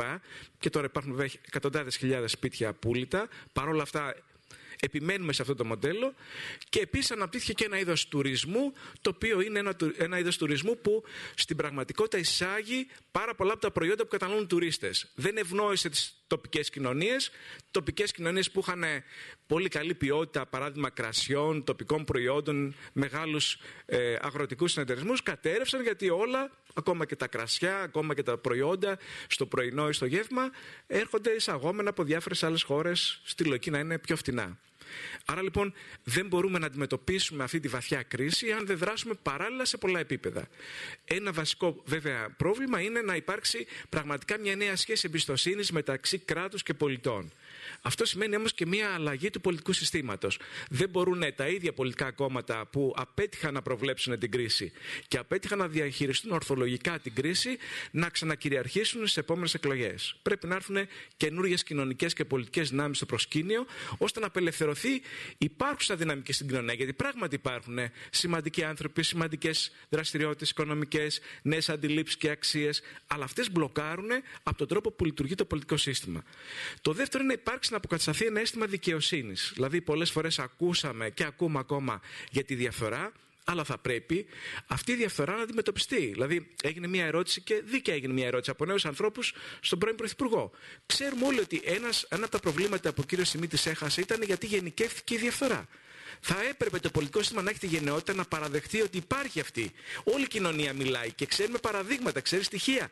Μιλάμε για τις ζήμες, μιλάμε για τα υποβρύχια, μιλάμε σχεδόν για τα περισσότερα ε, προγράμματα εξοπλιστικά. Μιλάμε για πολλά μεγάλα έργα που γινόντουσαν κάτω από το τραπέζι συμφωνίες. Άρα λοιπόν θα πρέπει να υπάρξει δικαιοσύνη και αυτό μπορεί να βοηθήσει και το πολιτικό σύστημα στην Γερμανία. Ίσως η Ελλάδα είναι η μόνη χώρα που δεν μάθαμε ποτέ ποιος λαδώθηκε από τη Siemens. Υπάρχουν στοιχεία, όλοι το λένε, υπάρχουν καταδίκες σε δικαστήρια, αλλά δεν βγήκε το πολιτικό σύστημα στη Γερμανία, αν θέλετε, να πιέσει και να δοθούν τα ονόματα. Να μάθουμε επιτέλους αν ήταν δημόσιοι πάλι, αν ήταν στελέχη των κομμάτων, αν ήταν υπουργοί. Αυτά λοιπόν νομίζω ότι είναι κάτι κάτι στο οποίο μπορούμε να συνεργαστούμε. Ε, και επίσης μια αίσθηση ότι η μεταρρύθμιση που γίνεται στην Ελλάδα είναι προς όφελος κοινωνίας, αλλά και πρέπει να γίνει με τη συμμετοχή της κοινωνίας. Δεν μπορεί να υπάρξει μια μεταρρύθμιση και διάσωση μιας κοινωνίας όταν όλο το κομμάτι της κοινωνίας είναι αντίον αυτής της μεταρρύθμισης. Άρα είναι ένα μεγάλο θέμα δημοκρατικής λειτουργίας.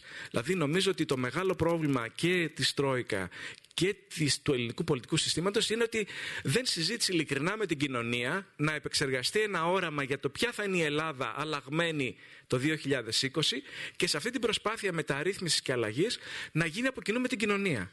βλέπουμε ότι ανοίγονται μέτωπα με όλες τις κοινωνικές ομάδες, αλλά ποιος τελικά είναι αυτός που θα δημιουργήσει τη δυναμική της μεταρρύθμισης, αν δεν είναι κομμάτια της κοινωνίας; Προφανώς υπάρχουν ισχυρά συμφέροντα που αντιδρούν σε οποιαδήποτε μεταρρύθμιση, αλλά τουλάχιστον πρέπει ένα μεγάλο κομμάτι της κοινωνίας να θέλει αυτή τη μεταρρύθμιση. Αλλιώς, στο τέλος, μπορούμε να φτιάξουμε ορισμένα νούμερα, να πετύχουμε ορισμένα δημοσιονομικά στοιχεία, αλλά δεν θα υπάρχει κοινωνία, δεν υπάρχει κοινωνική συνοχή, δεν υπάρχει οικονομία. Άρα λοιπόν, πολύ σημαντικό η όποια συζήτηση, και χαίρομαι ότι βλέπω ότι υπάρχουν πλέον ορισμένες κινήσεις προς αυτή την κατεύθυνση, διαλόγου με τις περιφέρειες, με τους Δήμους, με τις επιχειρήσεις, με την κοινωνία των πολιτών. Είναι πολύ σημαντικό. Αυτό θα έπρεπε να είναι το πρώτο πράγμα που έπρεπε να έχει γίνει το 8 και το 9 και από την προηγούμενη κυβέρνηση και από την κυβέρνηση που προέκυψε από τις εκλογές του 2009. Και εμείς ως οικολόγοι πράσινοι, αλλά και άλλοι φορείς, μιλάγαμε για την κρίση. Όλοι την ξέραν την κρίση. Και όλοι μίλαγαν ότι πρέπει κάτι να κάνουμε. Αυτό όμως δεν έγινε ανοιχτά, δεν έγινε συζήτηση με την κοινωνία και δεν υπήρξαν, αν θέλετε, ένα όραμα και της κοινωνίας για αλλαγές. Αυτό θα μπορούσε να αποτρέψει την οργή, την, την, το αίσθημα προδοσίας που νιώθουν οι πολίτες και θα μπορούσε να γίνει μια συνειδητή συμμετοχή στην προσπάθεια μεταρρύθμισης.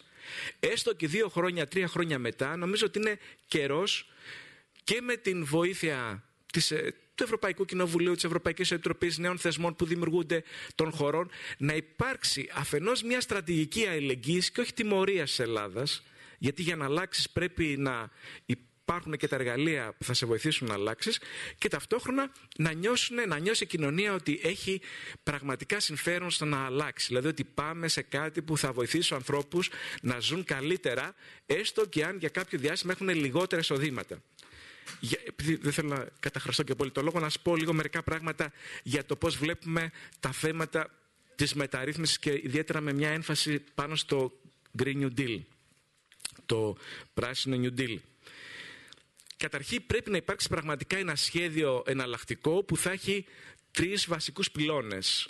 Βιωσιμότητα, αυτό που λέμε αηφορία, sustainability, θα έχει την έννοια της κοινωνικής συνοχής, δηλαδή ότι θα πετύχουμε τις μεταρρυθμίσεις αλλά χωρίς να θυσιάσουμε την κοινωνική συνοχή και το τρίτο ότι πρέπει να δώσουμε δυνατότητα και ιδιαίτερα σε νέους ανθρώπους να απασχοληθούν, να δημιουργήσουν δηλαδή ε, θέσεις εργασίας και να προσφέρουν εισοδήματα τα οποία θα μπορούν να φορολογηθούν μετά. Πραγματικά εισοδήματα.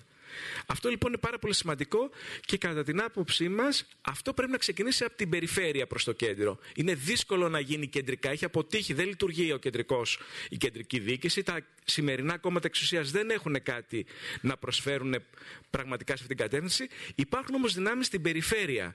Και αυτές οι δυνάμεις μπορούν να συγκροτήσουν περιφερειακά σχέδια τα οποία θα συναποτελέσουν στο μέλλον ένα κεντρικό σχέδιο, ένα εθνικό σχέδιο μεταρρύθμισης που θα είναι βιωσιμότητα, κοινωνική συνοχή και απασχόληση.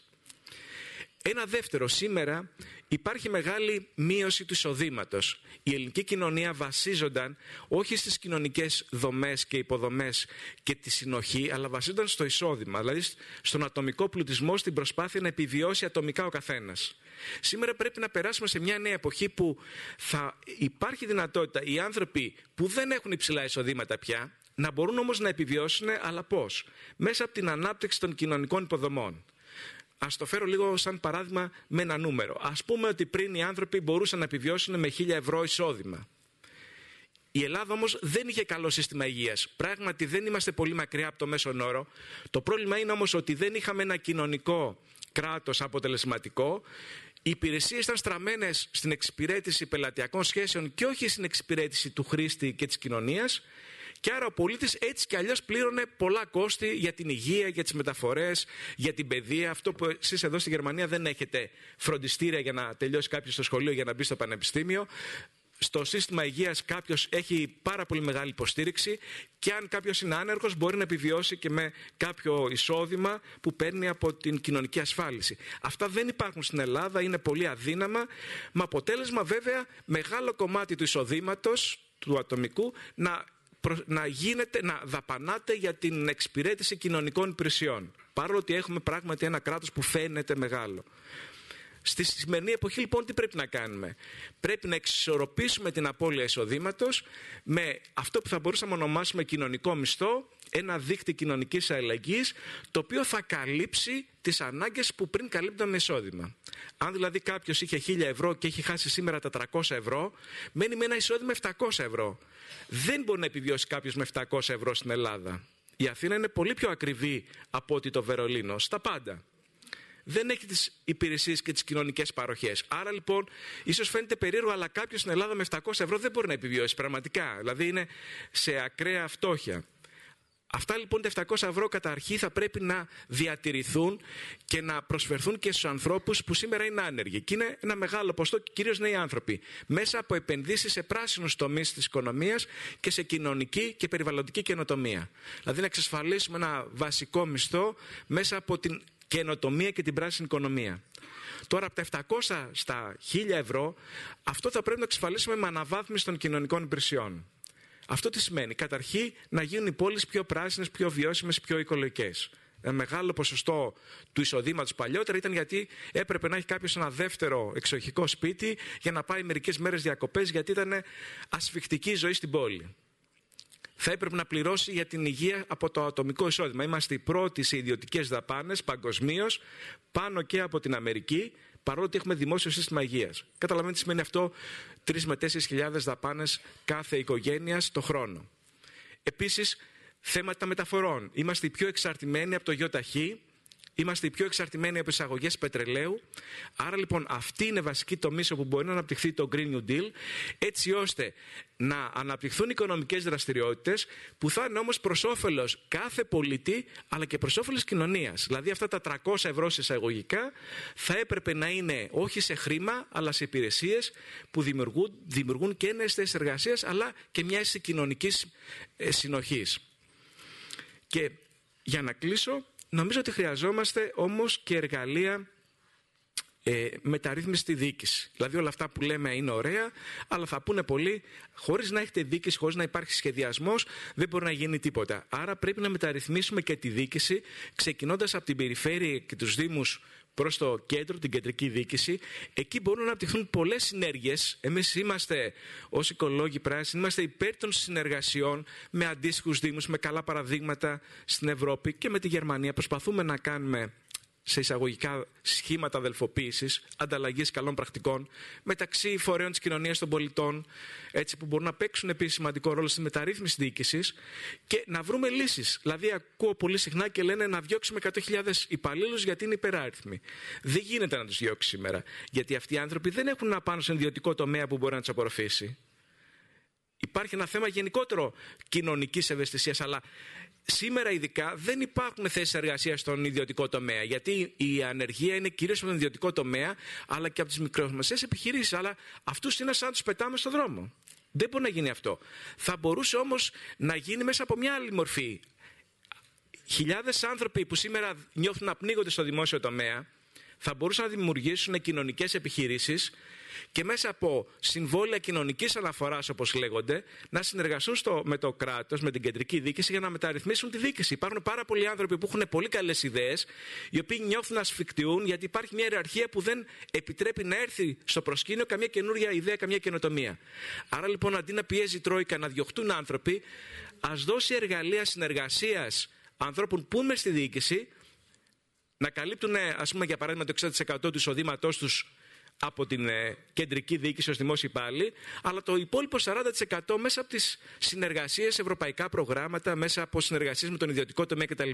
Άρα και αυτοί οι άνθρωποι δεν έχουν τεράστια απώλεια εισοδήματος, αλλά και απ' την άλλη αποτελούν, θα μπορούσαν να αποτελέσουν μια δύναμη καινοτομίας και μεταρρύθμισης διοίκησης. Και τέλος, πρέπει να δούμε τρόπους έτσι ώστε σήμερα δαπάνες που ε, μάλλον κεφάλαια υπάρχουν στο τοπικό επίπεδο και κεφάλαια υπάρχουν σε ευρωπαϊκό επίπεδο να ε, χρησιμοποιηθούν προς όφελος των τοπικών κοινωνιών. Τα ευρωπαϊκά, ευρωπαϊκοί πόροι.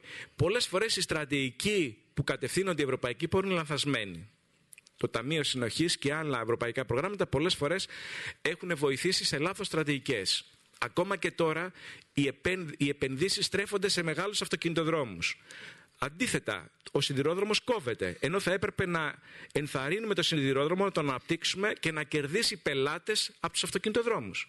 Αυτοκινητόδρομο σημαίνει εισαγωγή οχημάτων, σημαίνει εισαγωγή πετρελαίου, άρα επιδεινώνεται το εμπορικό ζύγιο. Δηλαδή κάνουμε ό,τι, ό,τι χειρότερο επιδεινώνοντας πραγματικά το δημοσιονομικό πρόβλημα.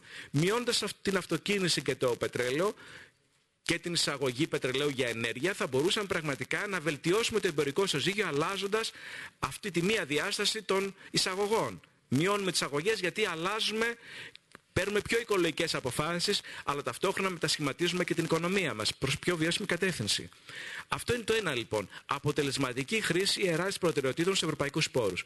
Και το δεύτερο είναι τα τοπικά κεφάλαια τα οποία σήμερα διαθέτουμε να ξαναμείνουν σε τοπικό επίπεδο. Δηλαδή σήμερα πληρώνουμε πολλά χρήματα για να παράγουμε ενέργεια από πετρέλαιο. Πολλά χρήματα για να εισάγουμε πετρέλαιο για την αυτοκίνηση. Αν λοιπόν αξιοποιήσουμε τις ανανεώσιμες μορφές ενέργειας με συμμετοχικές εταιρείες, με δημοτικές επιχειρήσεις, τα χρήματα αυτά θα μένουν στις τοπικές κοινωνίες. Σας λέω μόνο ένα νούμερο. Στο νότιο Αιγαίο και γενικά στα νησιά που ε, σήμερα παράγεται ενέργεια κυρίως από σταθμούς με πετρέλαιο, δαπανώνται ετησίως 700 εκατομμύρια ευρώ, από τα οποία περίπου τα μισά είναι για εισαγωγές πετρελαίου. Όλο το η ευρωπαϊκή χρηματοδότηση για τα νησιά αυτά είναι γύρω στα 140 εκατομμύρια. Δηλαδή κάθε χρόνο σπαταλιώνται τέσσερις φορές οι ευρωπαϊκοί πόροι, έτσι, για, για ένα μοντέλο ενεργειακό το οποίο είναι αποτυχημένο περιβαλλοντικά, κλιματικά και οικονομικά.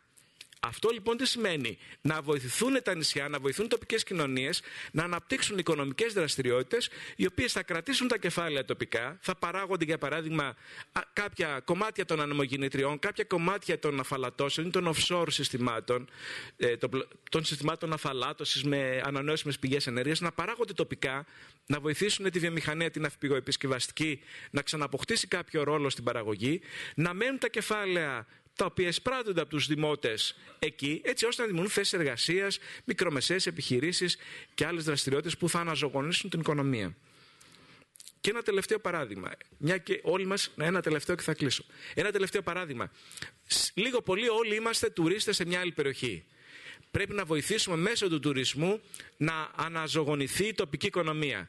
Γιατί το μοντέλο που γίνεται σήμερα είναι έρχεται ο τουρίστας, καταναλώνει προϊόντα από μια οποιαδήποτε άλλη χώρα του κόσμου, αλλά αυτό καταστρέφει την τοπική οικονομία. Α συνδέσουμε τον τουρισμό με την προστασία του περιβάλλοντος και με την τοπική παραγωγή κυρίως βιολογικών και ποιοτικών προϊόντων. Ευχαριστώ πάρα πολύ.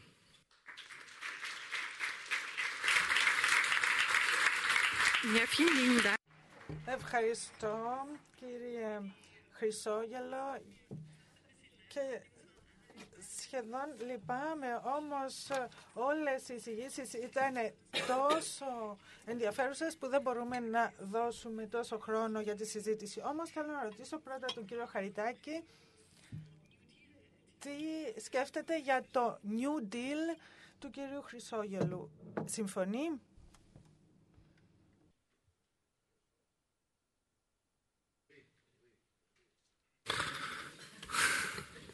Ευχαριστώ. Ε, ο κύριος Χρυσόγελος ε, μου έδωσε το δικαίωμα να πω ότι εκπροσωπώντας μια ε, εταιρεία η οποία ουσιαστικά προσπαθεί στον τομέα που αναφέρθηκε ο κύριος Χρυσόγελος ότι ε, θα προσπαθήσουμε ακόμη περισσότερο. Τι εννοώ με αυτό; Ε, Κάναμε επένδυση με ίδια κεφάλαια σε εταιρεία η οποία έκανε ανακύκλωση λαστίχων. Ε, μια βασική ανάγκη για τις χώρες που έχουν υψηλές αλλαγές θερμοκρασίας στους δρόμους είναι να ενισχύεται το σκυρόδεμα ή να ενισχύεται ε, η, η επίστρωση με την πούδρα από τα, λαστικά, από τα ελαστικά. Ε, δεν υπήρξε διάθεση να ε, ε, ευνοηθεί αυτή η προσπάθεια. Αντιθέτως εξάγουμε όλη την παραγωγή στο εξωτερικό και ευνοούμε την οικονομία με την εισαγωγή συναλλάγματος. Ε, θα μπορούσαμε να οπωσδήποτε να έχουμε καλύτερους πελάτες και από την Ελλάδα, αλλά δυστυχώς η νομοθεσία απογορεύει στους κατασκευαστάς δρόμων να χρησιμοποιήσουν ελαστικά σε μια χώρα η οποία θα έπρεπε να το χρησιμοποιήσει την πούδρα για να μην υπάρχει τόσο ε, συχνή ε, διόρθωση των, ε, των δρόμων. Διορθώνονται πιο τακτικά οι δρόμοι και έτσι είναι καλύτερα. ε, στις δημόσιες δαπάνες. Ε, πάμε, προχωρούμε, προχωρούμε ακόμη περισσότερο. Κάνουμε μια επένδυση και κάνουμε, συνεχίζουμε να κάνουμε επενδύσεις ε, με κεφάλαια και από το εξωτερικό στην ηλιακή ενέργεια. Ε, αισιοδοξούμε ότι σύντομα θα αρχίσουμε ένα πολύ μεγάλο project το οποίο θα είναι το μεγαλύτερο ηλιακά, τα μεγαλύτερα ηλιακά πάρκα τα οποία σε συνολική επένδυση θα είναι περίπου 250 εκατομμύρια ευρώ. Ε, η χρηματοδότηση θα είναι 70-30 με τη China Development Bank. Ε, προσπαθήσαμε να το κάνουμε. Η απάντηση είναι ότι την ώρα που συζητάμε, πέρα από το προσπαθούμε να πείσουμε τους ξένους επενδυτές, χρηματοδότες, ότι το country risk, αυτό που λέμε δηλαδή, ο κίνδυνος για την Ελλάδα δεν είναι αυτός που πιστεύετε και αυτός που γράφουν τα μέσα μαζικής ενημέρωσης.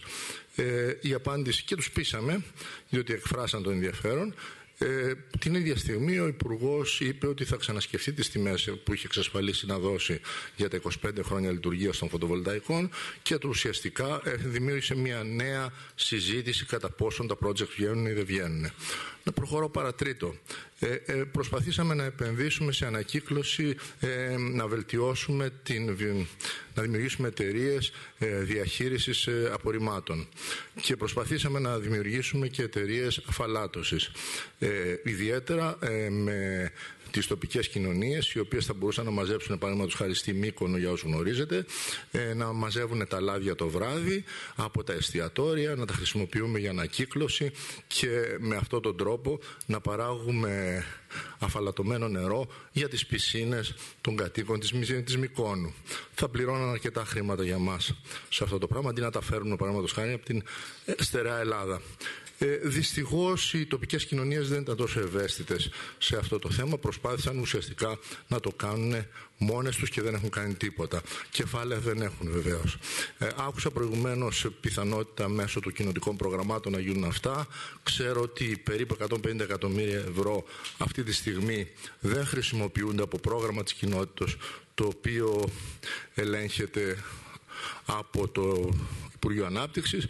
Παρ' όλα αυτά προσπαθούμε να, να δημιουργήσουμε συνθήκες τέτοιες. Άρα, τι θέλω να πω; Θέλω να πω ότι.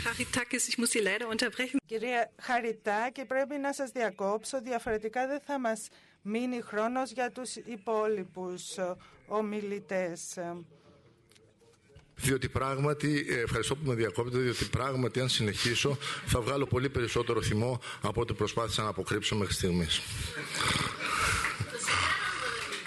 Το συμπέρασμα είναι ότι προσπαθούμε στην Ελλάδα, αλλά αυτό δεν έχει καμία σημασία. Το συμπέρασμα είναι ότι αυτό που χρειάζεται είναι να κατανοήσουμε ότι πρέπει να γίνει εξαιρετική δουλειά ε, και να δούμε τα πράγματα, ιδιαίτερα στο ελληνικό δημόσιο, με τελείως διαφορετική κατάσταση. Δεν θέλουμε να το δούμε, δεν πρόκειται να το δούμε, ε, δεν ξέρω τι θα γίνει.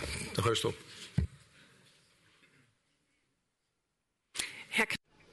Κύριε, κύριε Κνάπ, πώς θα σχολιάζατε την, αυτά που είπε ο κύριος Χαριτάκης;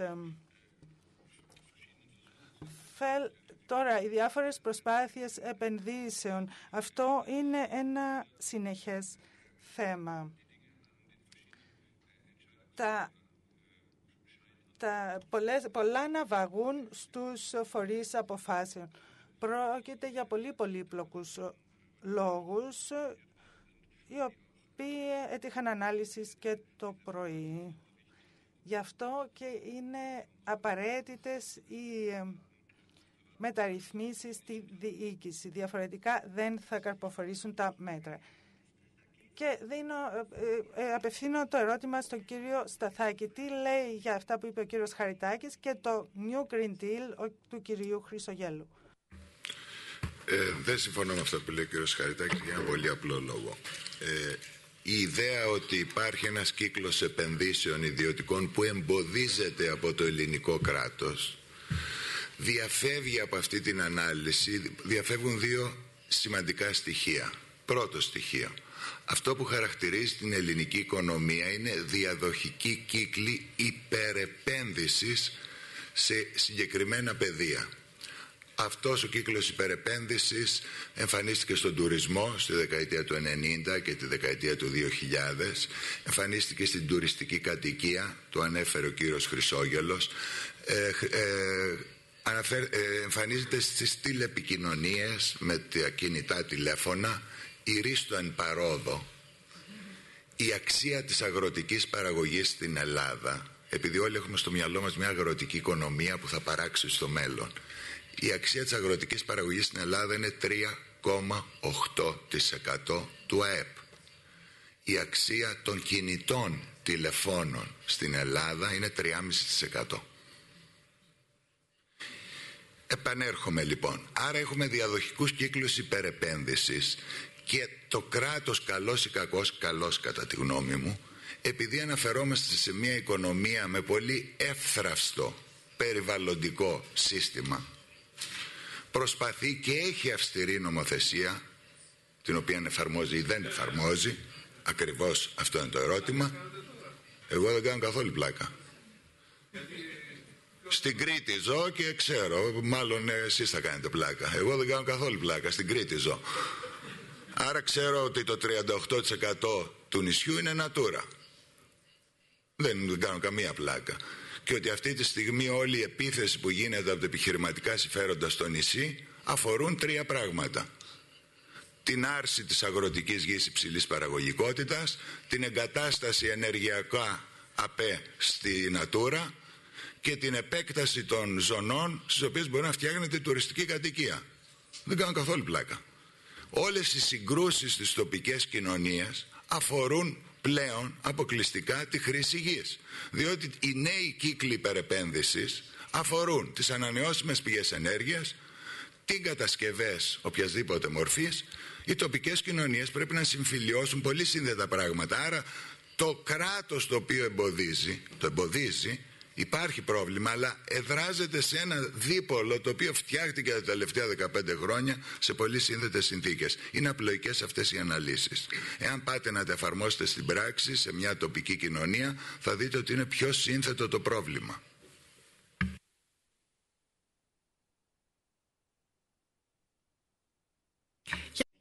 Ευχαριστώ κύριε Σταθάκη και δίνω το λόγο στον κύριο Πάστιαν, ε, πώς αντιδρά στα όσα έχουν πει και ειδικά αναφορικά με το Green Deal.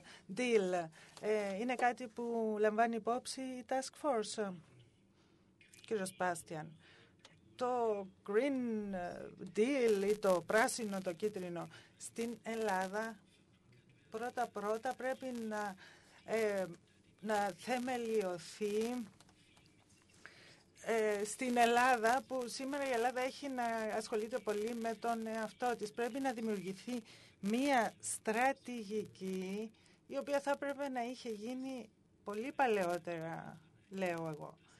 Ε, να υπενθυμίσω πως ε, στην χώρα φιλοξενίας μου θα προτιμούσα να είχαν γίνει περισσότερα προγράμματα, τώρα αν το πούμε πράσινο ή πώς το πούμε πώς θα το πούμε. Από την άλλη, θεωρώ σημαντικό το Green Deal να, έχει να μπει σε επενδυτικά πλαίσια. Πρέπει να υπάρχει σαφές πλαίσιο επενδυτικό, οικονομικό. Για παράδειγμα, ε, στο φορολογικό σύστημα στην Ελλάδα, όταν κτίζεται ένα νέο ε, σπίτι και ο ιδιοκτήτης ε, κατά την απόφαση του να βάλει φωτοβολταϊκά λαμβάνει ε, επιδοτήσεις. Εγώ και η γυναίκα μου που έχουμε, που έχουμε παλαιό σπίτι δεν λαμβάνουμε φοροελαφρύνσεις, ενώ όσοι χτίσουν νέο σπίτι λαμβάνουν βοήθεια. Γι' αυτό το δεν θα το βάζα σαν, δεν θα έλεγα πως το Green Deal είναι ένα όραμα στο μακρό μέλλον. Θα το εμπέδωνα και θα το θεμελίωνα στα σημερινά δεδομένα. Και ας ε, το συζητήσουμε αργότερα. Ευχαριστώ, Δόκτωρ ε, Πάστιαν. Θα ήθελα να δώσω το λόγο στο τελευταίο μιλητή μας και μετά στον κύριο Χρυσόγελο. Μετά ανοίγει η συζήτηση. Κύριε Χρυσόγελε, πώς αντιδράτε σε όσα είπαν οι, οι άλλοι συγγητές.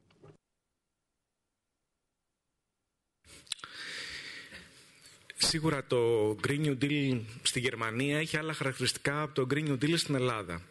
Και αυτό που χρειάζεται να γίνει στην Ελλάδα είναι μεγαλύτερη συμμετοχή της τοπικής κοινωνίας και των περιφερειακών θεσμών σε ό,τι σχεδιάζεται σε επίπεδο επενδύσεων. Υπάρχει πράγματι μια παράδοση άρνησης των ιδιωτικών επενδύσεων στην Ελλάδα γιατί έχουν γίνει στρατηγικά λάθη και από τον ιδιωτικό τομέα και βέβαια πολλές φορές υπάρχουν και στερεότυπα στις τοπικές κοινωνίες.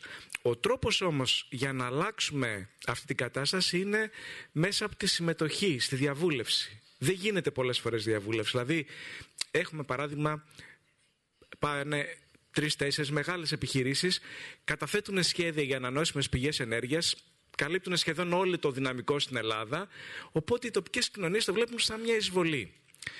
Εδώ το γερμανικό μοντέλο, αλλά και η Αυστρία και η Δανία έχουν πιο συμμετοχικά μοντέλα για τις ανώσιμες μορφές ενέργειας, όπου επωφελούνται και οι πολίτες και οι τοπικές κοινωνίες και οι δήμοι, οι μικρομεσαίες επιχειρήσεις. Άρα λοιπόν δεν μπορούμε να δούμε το Green New Deal χωρίς συνάφεια με αυτό που ονομάζουμε κοινωνική συνοχή και ευημερία των τοπικών κοινωνιών. Δηλαδή όσο θα εμφανίζονται σχέδια τα οποία είναι μόνο σχέδια που αφορούν τον ιδιωτικό τομέα, τόσο θα υπάρχει αντίδραση που πολλές φορές είναι εντελώς υπερβολική, αλλά είναι αντίθεση η οποία δημιουργείται και καλλιεργείται με το μοντέλο που πάνε να γίνουν επενδύσεις. Επίσης, νομίζω ότι υπάρχουν τομείς που πιθανά μπορούν να υπάρχουν και ιδιωτικές συμμετοχές, αλλά θα έλεγα ότι εκεί πρέπει να υπάρξει περισσότερο έμφαση και ανάπτυξη του κοινωνικού τομέα. Κοινωνικές επιχειρήσεις, τα θέματα επαναχρησιμοποίησης ε, απορριμμάτων, ε, συσκευών, υλικών, στα θέματα της οικολογικής αναγέννησης των πόλεων. Εκεί χρειάζεται όμως να λειτουργεί και η διοίκηση με όραμα, στρατηγική και προφανώς να προσφέρει και θέσεις εργασίας και ένα μέλλον και κυρίως για τους νέους ανθρώπους που είναι έτοιμοι να μπουν σε τέτοια, αλλά δεν έχουν χρηματοδοτικά εργαλεία. Δηλαδή, ίσως και ένας από τους ρόλους της Task Force είναι να ενθαρρύνει αυτό που ονομάζουμε κοινωνία των πολιτών να μπορεί να προχωρήσει τέτοια σχέδια και να προσφέρει και θέσεις εργασίας ε, στους νέους ανθρώπους που είναι πιο έτοιμοι και έχουν αλλάξει αξίες, αλλά δεν έχουν τα εργαλεία για να ε, πάρουν πρωτοβουλίες και στον οικονομικό τομέα.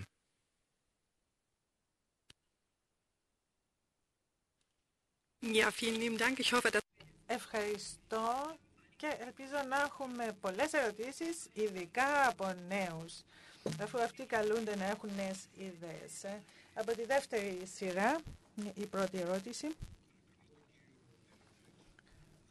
Το όνομα της φίρμας του να την προτιμήσουμε.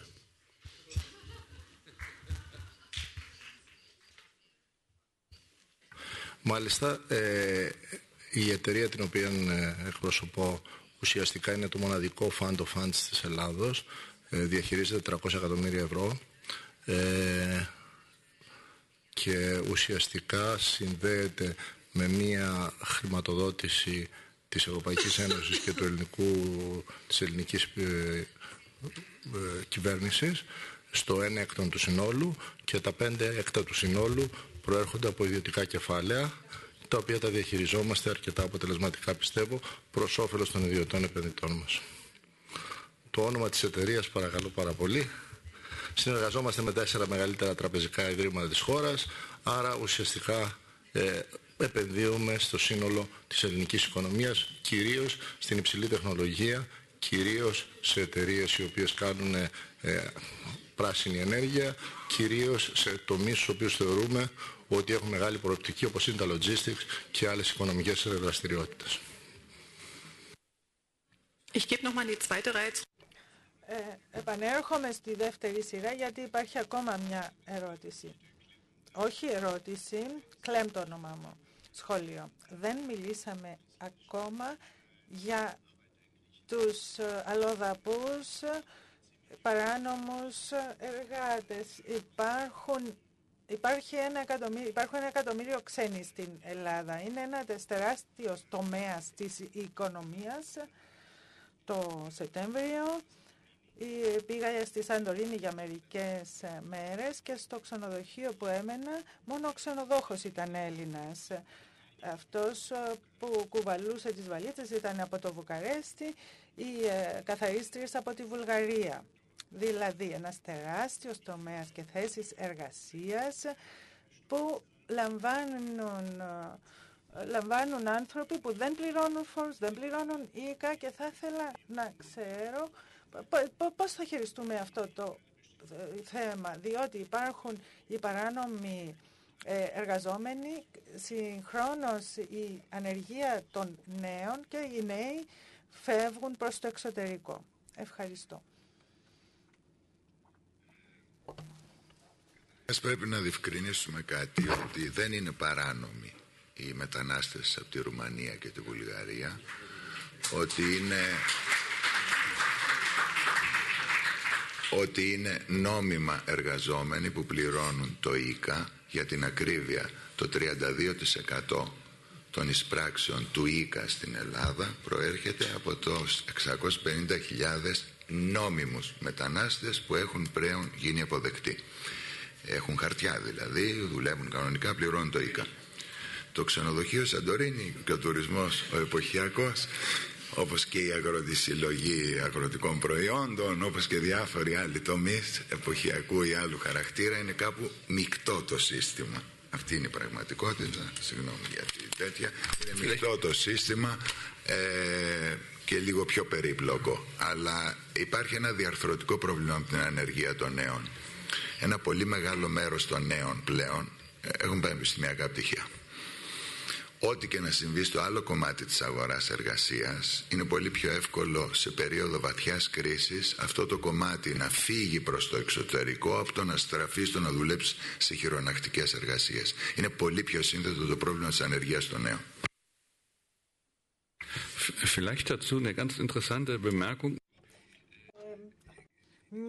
Ένα ενδιαφέρον σχόλιο. Στην Ελλάδα ειδικά για αυτά τα, αυτά τα, τα επαγγέλματα στο νοικοκυριό, η ιδέα είναι αυτά τα άτομα να πληρώνονται με κουπόνια που εργάζονται στα νοικοκυριά. Και σε αυτά, με αυτά τα κουπόνια θα συμπεριλαμβάνεται και το οίκα. Δηλαδή αυτοί που δουλεύουν για δύο ώρες στο, σε ένα σπίτι. Να λαμβάνουν τα κουπόνια τα οποία συμπεριλαμβάνουν το οίκα. Δεν ξέρω αν θα μπορούσε αυτό να γίνει και στην Ελλάδα. Και στη Γερμανία ίσως κάτι τέτοιο θα ήταν καλό. Και το, η τεχνογνωσία θα μπορούσε με αυτόν τον τρόπο να πάει από την Ελλάδα προς τη Γερμανία, γιατί το σύστημα με τα κουπόνια είναι θετικό.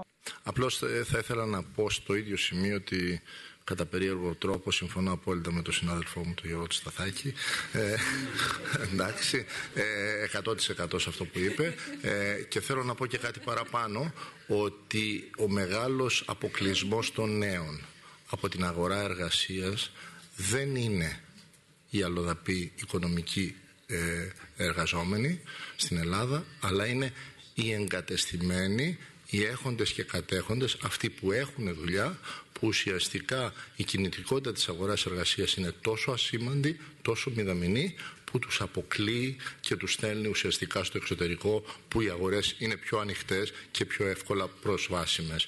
Αυτό είναι το μεγάλο πρόβλημα και όχι το ανάποδο. Εγώ είμαι πρόβλημα για τον νέο οικονομολόγο και όχι ο αλλοδαπός εργαζόμενος. Ναι, Νομίζω ότι ε, ε, το είπαν λίγο και οι προηγούμενοι. Το πρόβλημα είναι ότι οι νέοι άνθρωποι είναι άνθρωποι που έχουν τελειώσει το πανεπιστήμιο, έχουν ικανότητες, πολλοί από αυτούς, και δεν μπορούν να βρουν κάτι καινοτόμο στο να απασχοληθούν. Ε, Προφανώς πολλοί από εμάς έχουμε δουλέψει στα νιάτα μας σε οικοδομές, σε τουριστικό τομέα κτλ. Η... Ναι, αλλά εντάξει, αυτό είναι μια, ένα μεταβατικό στάδιο κάποιων χρόνων, ίσως στην αρχή, αλλά δεν μπορεί να είναι το μέλλον εκεί πέρα. Οι μετανάστες στην Ελλάδα δεν είναι οι μετανάστες ίσως που υπάρχουν σε άλλες χώρες, οι εξειδικευμένοι υψηλής εξειδίκευσης που πιάνουν θέσεις εργασίας. Το πρόβλημα που υπάρχει στην Ελλάδα είναι διπλό. Το πρώτο είναι ότι υπάρχουν λαϊκίστικες δυνάμεις οι οποίες χρησιμοποιούν για να κερδίσουν επιρροή και ε, αντί να βοηθήσουν στην ε, καλύτερη οργάνωση κοινωνίας, το χρησιμοποιούν για να πάρουν εκλογικά ωφέλη. Ε, και το δεύτερο είναι ότι δεν έχουμε μια σχεδιασμένη, καλά, καλά σχεδιασμένη μεταναστευτική πολιτική, έτσι ώστε να υποφελείται και η κοινωνία. Όμως, πολλοί από τους μετανάστες καλύπτουν πραγματικές ανάγκες λόγω της απουσίας των κοινωνικών υποδομών. Δηλαδή, ξέρετε, πάρα πολλοί ηλικιωμένοι σήμερα που δεν έχουν άλλη υποστήριξη από κοινωνικό κράτος βρίσκουν καταφύγιο σε ανθρώπους που είναι μετανάστες. Αν δεν υπήρχαν, θα ήταν, σας λέω από τα νησιά που είναι η δικιά μου εμπειρία, δεν υπάρχει ούτε γιατρός καλά-καλά. Επομένως, αν δεν υπάρχουν οι μετανάστες, οι ηλικιωμένοι άνθρωποι δεν μπορούν να εξυπηρετηθούν.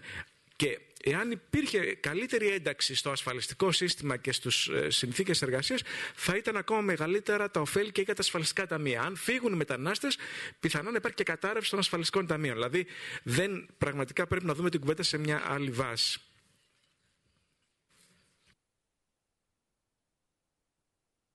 Yeah. Sorry. Ε, excuse me. Äh, zwei Fragen. Eine ganz präzise an Δύο ερωτήσεις ε, συγκεκριμένα προς τον κύριο Μπάστιαν. Μας εξηγήσετε πώς ε, έχετε πολύ διαφορετικό ποιοτικά ε, καθήκον από την Τρόικα. Στην αρχή, επειδή ήταν γερμανικό το όνομα του διευθυντή σας, ήταν δύσκολο να σας δεχθούν στην Ελλάδα και νόμιζαν πώς συνδέστε με την Τρόικα. Καταφέρατε να, να καλυτερεύσετε η φήμη σας. Και το δεύτερο ερώτημα προς όλους. Μέχρι τώρα δεν μιλήσαμε για τις ιδιωτικοποιήσεις. Ο ε, Επίτροπος μίλησε, Ευρωπαϊκός Επίτροπος, μίλησε για την... Ε, για το ότι δεν λειτουργήσε η μεταρρύθμιση. Και εγώ νομίζω ότι αυτή είναι βλακεία διότι δεν μπορούμε τώρα να κάνουμε ιδιωτικοποιήσεις διότι δεν υπάρχει ζήτηση. Και κάθε πιθανός επενδυτής πιστεύει πως μέσα στο νέο χρόνο θα, θα, θα εισαχθεί η δραχμή, οπότε δεν θέλει να επενδύει, επενδύσεις δεν, δεν θα έπρεπε ο Παπαδήμος να το πει στην ε, Κομισιόν στις Βρυξέλλες. Η κυρία, λοιπόν, η συντονιστής λέει παρακαλώ όλους τους συζητητές να δώσουν σύντομες απαντήσεις. Η πρώτη προς τον κύριο Μπάστιαν και ελπίζω σε πέντε λεπτά να τελειώσουμε. Η Task Force όντως ε, παρόλο που ακόμα τώρα αρχίζει και έχει αρκετά καθήκοντα. Πράγματι, έχει και ένα πρόβλημα σχετικά με τη φήμη της. Δεν έχει αυτό να κάνει με την Task Force, αλλά πρόκειται για συλλογισμούς των, των επανορθώσεων των γερμανικών που έχουν να γίνει. Ερχόμαστε σε μια κατάσταση που με, στα πλαίσια της Task Force πρέπει να αναγνωρίσουμε πώς ε, υπήρξαν πολλά θρύψαλα μεταξύ της Αθήνας και του Βερολίνου. Ο κύριος Ράιχενμπαχ προσπαθεί πάντα να δείξει πως έρχεται ως συνεργάτης. Προσπαθεί να δώσει ελπίδα για συνεργασία.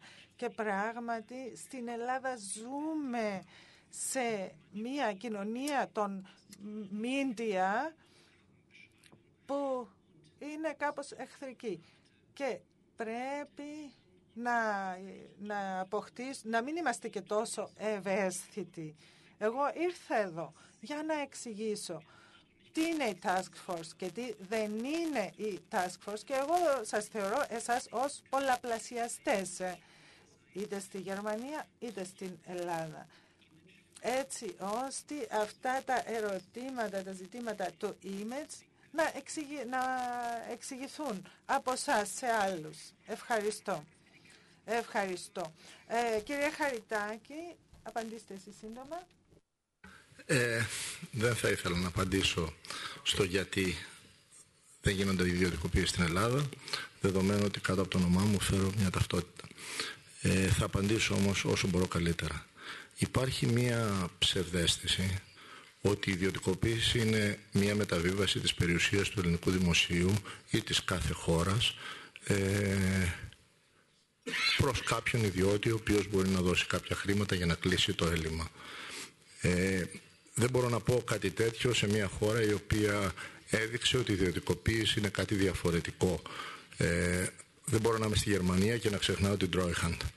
Ε, άρα, η ιδιωτικοποίηση σημαίνει μεταβίβαση δικαιωμάτων του δημοσίου τομέα με σκοπό την αναδιάρθρωση ε, των επιχειρήσεων αυτών και με σκοπό τη δημιουργία θέσεων εργασίας, φορολογικών εσόδων, εσόδων εισοδήματος και ουσιαστικά πραγματοποίηση αύξηση της συνολικής παραγωγής.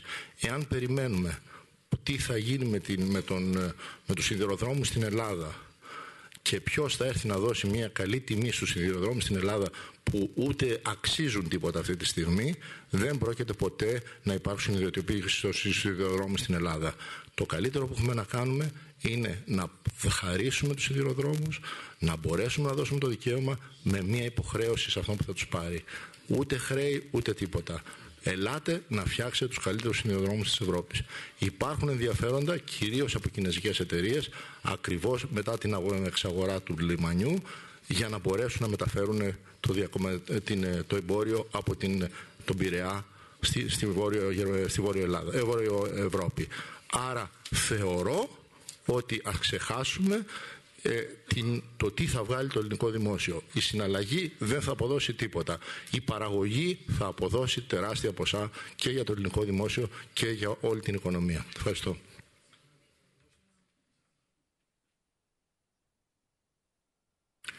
Ωραία. Εγώ απάντησα ήδη. Το ελληνικό κράτος δεν έχει επιχειρήσεις. Είναι πολύ απλό. Η μόνη που έχει και έχει αξία είναι η ΔΕΗ, καμία άλλη. Και έχει και δύο οικόπεδα το αεροδρόμιο του ελληνικού και την πρώην Αμερικάνικη βάση στο Ηράκλειο. Έχει και ένα εκατομμύριο μικροοικόπεδα, αλλά δεν νομίζω ότι αυτά εννοούν των τριών στρεμάτων, των δύο κτλ. Άρα δεν υπάρχει τίποτα προσπόληση. Όταν ακούσαμε στην Ελλάδα ότι από ιδιωτικοποιήσεις θα προέλθουν 50 δις, περιμέναμε να δούμε αυτό τον κατάλογο των επιχειρήσεων που θα φέρουν 50 δις. Δεν τον είδαμε ποτέ και φαντάζομαι ότι δεν θα εμφανιστεί ποτέ διότι και τα δύο οικόπεδα δεν μπορεί να τα πουλήσει. Το δημόσιο δεν πουλάει οικόπεδα. Όπως ξέρετε, σε καμιά ευρωπαϊκή χώρα απαγορεύεται το Σύνταγμα. Μπορεί να τα νοικιάσει. Άντε να φτιάξουμε άλλα δύο καζίνο και τρία ξενοδοχεία στο ελληνικό. Δεν βλέπω ανάπτυξη με αυτόν τον τρόπο. Α σοβαρευτούμε. Να απελευθερώσουμε και τους ταξιτζίδες, να σοβαρευτούμε. Ανάπτυξη συζητάμε άλλα πράγματα. Νομίζω ότι τέθηκαν και αν θέλουμε να κάνουμε σοβαρή συζήτηση να την κάνουμε. Μέχρι τότε ας γελάμε με τα, την Τρόικα και τα 50 δις και τις ιδιωτικοποιήσεις και ένα πρόγραμμα καταστροφής το οποίο έχει μόνο μία εφαρμοζόμενη πολιτική. Εδώ διαφωνώ με το χαριτάκι, κλείνω. Η μόνη, το μόνο που εφαρμόζει το μνημόνιο είναι το εξής ότι εγώ έπαιρνα 42.000 ευρώ το 2009 ως καθηγητής ανώτατης βαθμίδας Πέρυσι πήρα 26 και του χρόνου θα πάρω 22.000 ευρώ. Αυτό είναι το μνημόνιο.